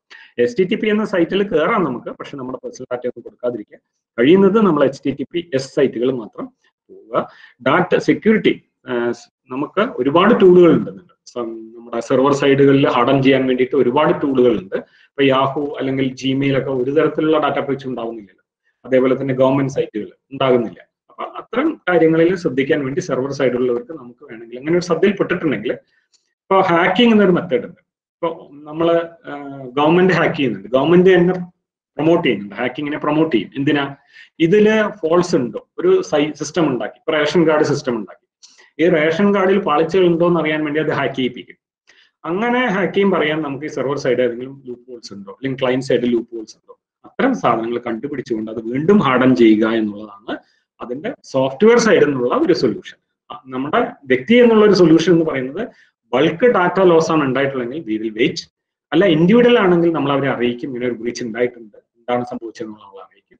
നിങ്ങൾക്ക് തോന്നുന്ന ആ ഡാറ്റ വേറൊരു സ്ഥലത്ത് ലീക്ക് ചെയ്യപ്പെട്ടിട്ടുണ്ടെന്ന് തോന്നുന്നത് ഡെഫിനറ്റ് ആയിട്ട് you can file a complaint okay okay thank you you.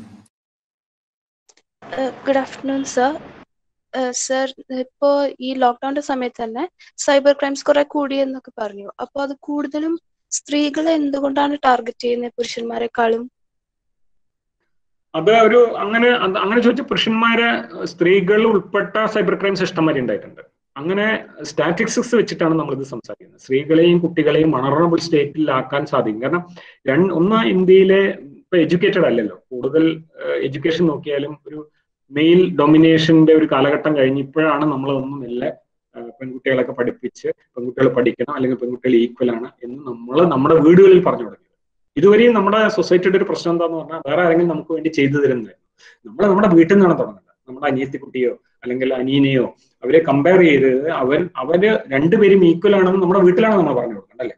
അപ്പൊ ഇത്തരത്തിലുള്ള ഒരു എഡ്യൂക്കേഷന്റെ കുറവ് ഇന്ത്യയിൽ ത്രൂ ഔട്ട് ഉണ്ടായിരുന്നു ഇന്ത്യയിൽ പല ഗ്രാമങ്ങളിൽ നമ്മൾ ചെന്ന് കഴിഞ്ഞാൽ ഇന്നും പെണ്ണുങ്ങൾ എന്ന് പറയുന്ന അടുക്കളയിൽ നിൽക്കേണ്ടവരാണെന്നും അങ്ങനെയുണ്ട് അപ്പൊ അതിൽ നിന്ന് വരുമ്പോൾ നാച്ചുറലി അതിൽ നിന്ന് വരുമ്പോൾ അവർക്കൊരു വളർണബിലിറ്റി സ്റ്റേറ്റ് ആണ് അതായത് നമ്മൾ നോക്കുമ്പോൾ പുരുഷനേക്കാളും കൂടുതൽ. ഇപ്പൊ രാത്രി എന്ത് തന്നെ പറഞ്ഞാലും രാത്രി ഇറങ്ങി നടക്കുമ്പോൾ പുരുഷനേക്കാളും നമുക്ക് ത്രട്ടൻ കൂടുതലുള്ളത് സ്ത്രീകൾക്കാണ്. അങ്ങനെ വരാൻ പാടില്ല.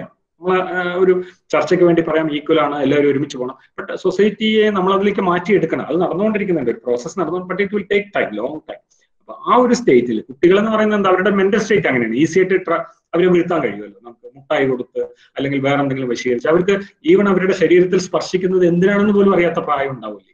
അപ്പൊ അങ്ങനെ വരുമ്പോൾ അവർ വളർന്നബിൾ സ്റ്റേറ്റ് ആണ്. അതേപോലെ തന്നെയാണ് പെൺകുട്ടികളുടെ മാനസികാവസ്ഥയെ ചൂഷണം ചെയ്യുക. അപ്പൊ അത്ര അങ്ങനെ അപ്പൊ ഒരു പാവപ്പെട്ട വീട്ടിൽ നിന്ന് ഒരു എക്സാമ്പിൾ പറയാം. പാവപ്പെട്ട വീട്ടിൽ നിന്ന് വരുന്ന ഒരു പെൺകുട്ടി പണക്കാരുള്ള ഒരു ഗ്യാങ്ങിൽ പോയി പെടുകയാണെങ്കിൽ നാച്ചുറൽ ആയിട്ട് ആ പെൺകുട്ടിക്ക് പൈസ കൊടുത്ത് സഹായിച്ച് അവരുടെ ഒപ്പം നിർത്താൻ വേണ്ടി ടാർഗറ്റ് ചെയ്തുകൊണ്ട് അവളെ മിസ്യൂസ് ചെയ്യപ്പെട്ട ചരിത്രങ്ങൾ ഉണ്ടായിട്ടുണ്ട് കേസുകൾ ഉണ്ടായിട്ടുണ്ട്. അപ്പൊ ഞാൻ പറഞ്ഞു വന്നത് അവർ പെൺകുട്ടികൾ മോശമാണെന്നല്ല. ഈ ഒരു സൊസൈറ്റിയുടെ മാനസികാവസ്ഥയിൽ നിന്ന് ഉണ്ടായ ഒരു സംഭവമാണത്. നമ്മൾ അടുത്ത ഒരു പതിനഞ്ച് കൊല്ലം കഴിഞ്ഞിട്ടൊക്കെ നിങ്ങളൊക്കെ പഠിച്ച് വളരെ വലിയ നിങ്ങൾ ഇതേമാതിരി എവിടെയെങ്കിലും ക്ലാസ് എടുക്കാൻ യെസ് ഇതൊരു ഈക്വൽ ആയിട്ടുള്ള ഒരു സൊസൈറ്റിയാണ് ഇപ്പോ ഞാൻ പറഞ്ഞത് ഒരു വളർണബിൾ സ്റ്റേറ്റിൽ എത്താൻ കൂടുതൽ സാധ്യത അവരാണ്. പുരുഷന്മാർ പെടുന്നുണ്ട് ഇഷ്ടംമാരി ആ കാണിച്ച രണ്ട് വീടും വീഡിയോയും പുരുഷന്മാരാണ്. അതിനാണ് ഞാൻ പർപ്പസ്ഫുള്ളി അത് കാണിച്ചത് നിങ്ങൾ റൈറ്റ് പുരുഷന്മാർ ഒട്ടും വിഭിന്നമല്ല. എല്ലാവരും കേസുകളിൽ പെടാറുണ്ട്. ബട്ട് സ്ത്രീകൾ വിക്ടിമായ ചരിത്രമുണ്ട്. സ്ത്രീകളായ നമുക്കറിയാം കേരളത്തിലുണ്ടായ പ്രമാദമായ കേസുകളെല്ലാം സ്ത്രീകളാണ്. മോശമാണെന്നല്ല ഞാൻ പറഞ്ഞു വരുന്നത്.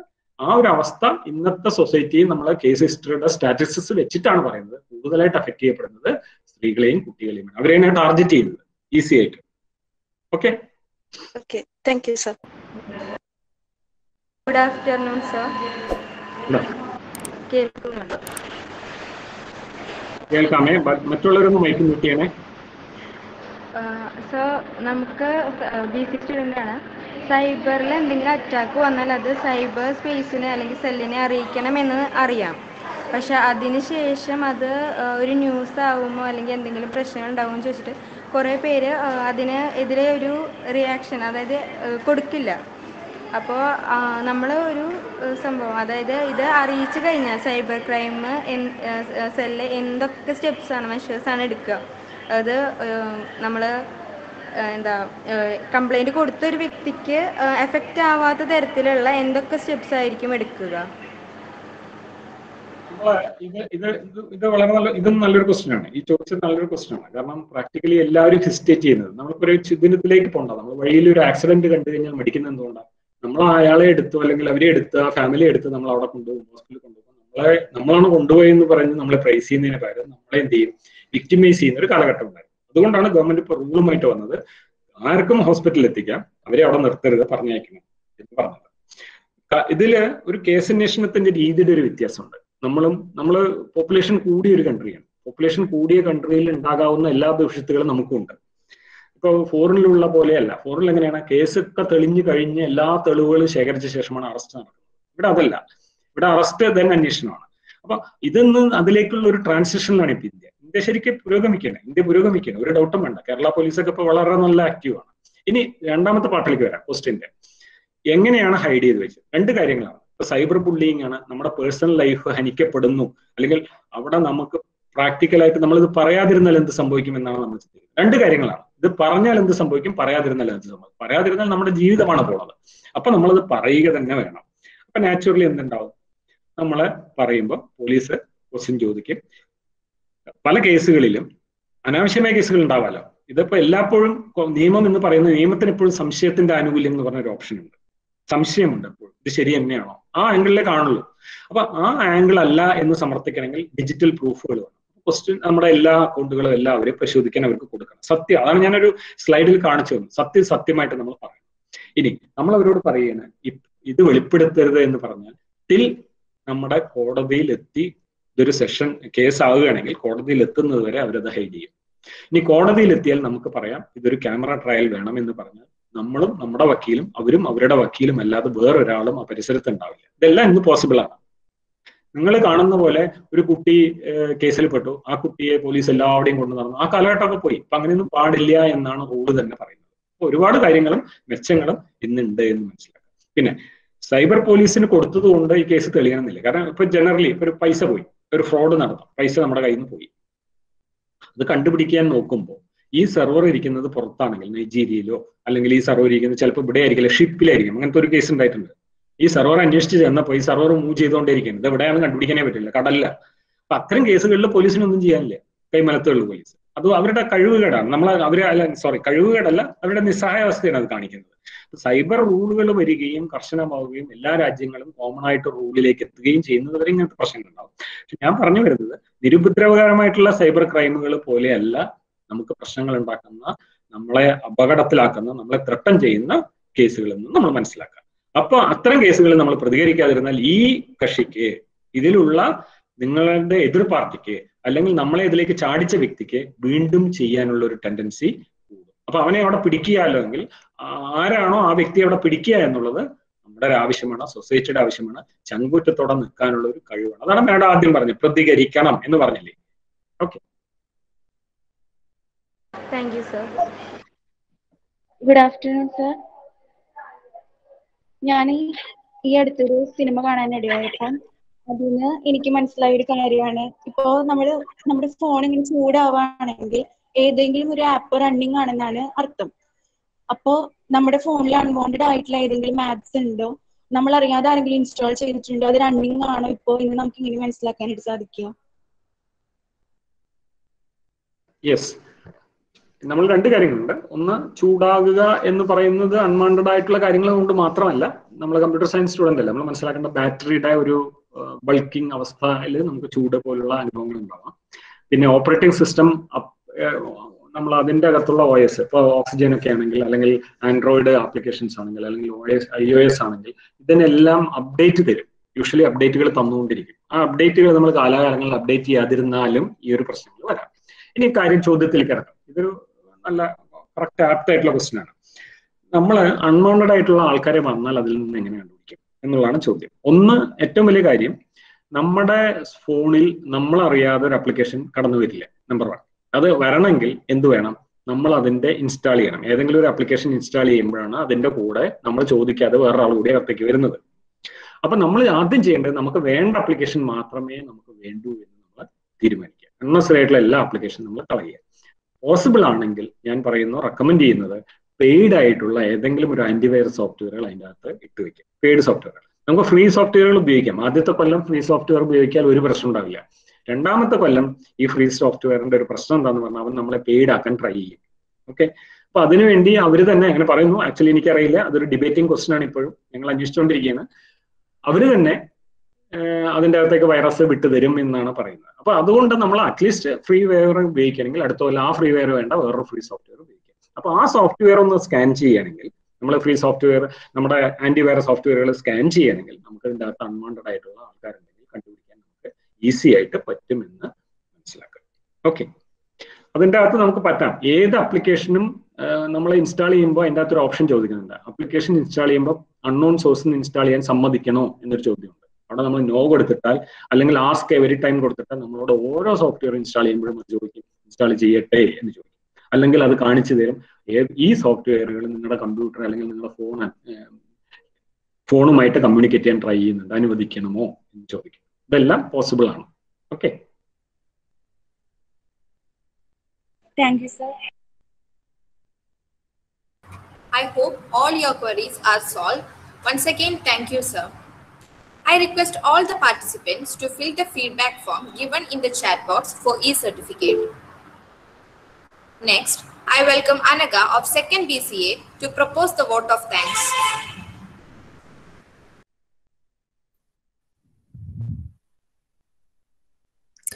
Good afternoon, everyone. Honorable guest, respected principal, teachers, and all the participants.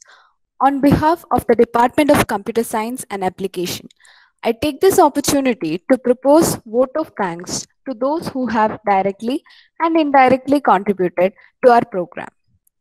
At the outset, I thank the members of Field Outreach Bureau, Government of India, Ministry of Information and Broadcasting, Trishur, for accepting our invitation and associating with us. I extend my profound gratitude to our principal, Dr. Sister Maggie Jose, for her eminent presence and presidential remark. I put forth my deep reverence to our esteemed chief guest and resource person, Sri Suresh Menon sir, who made himself available to us despite his busy schedule. Cybercrime and women's safety issues has been growing exponentially every few months. An expert in the field of cybersecurity, he gave us a detailed disclosure on the topic. Thank you very much, sir. My heartfelt gratitude to Dr. Neetu Sona IAS for your insightful words. A special thanks to Sri George Matthew sir for considering our invitation and joining with us. An event can't happen without dedicated staffs and students. My effusive thanks to the head of our department, Ms. Betsy Chaco, our teachers, coordinators, and all the students of the department for their support and coordination. Finally, but most importantly, I extend my inexpressible thanks to all the enthusiastic audience for your active participation. Once again, I thank everyone for making our program a great success. Thank you. Finally, we have come to an end of the program. I would like to thank each and everyone for cooperating with us to make this event a grand success. Once again, thank you.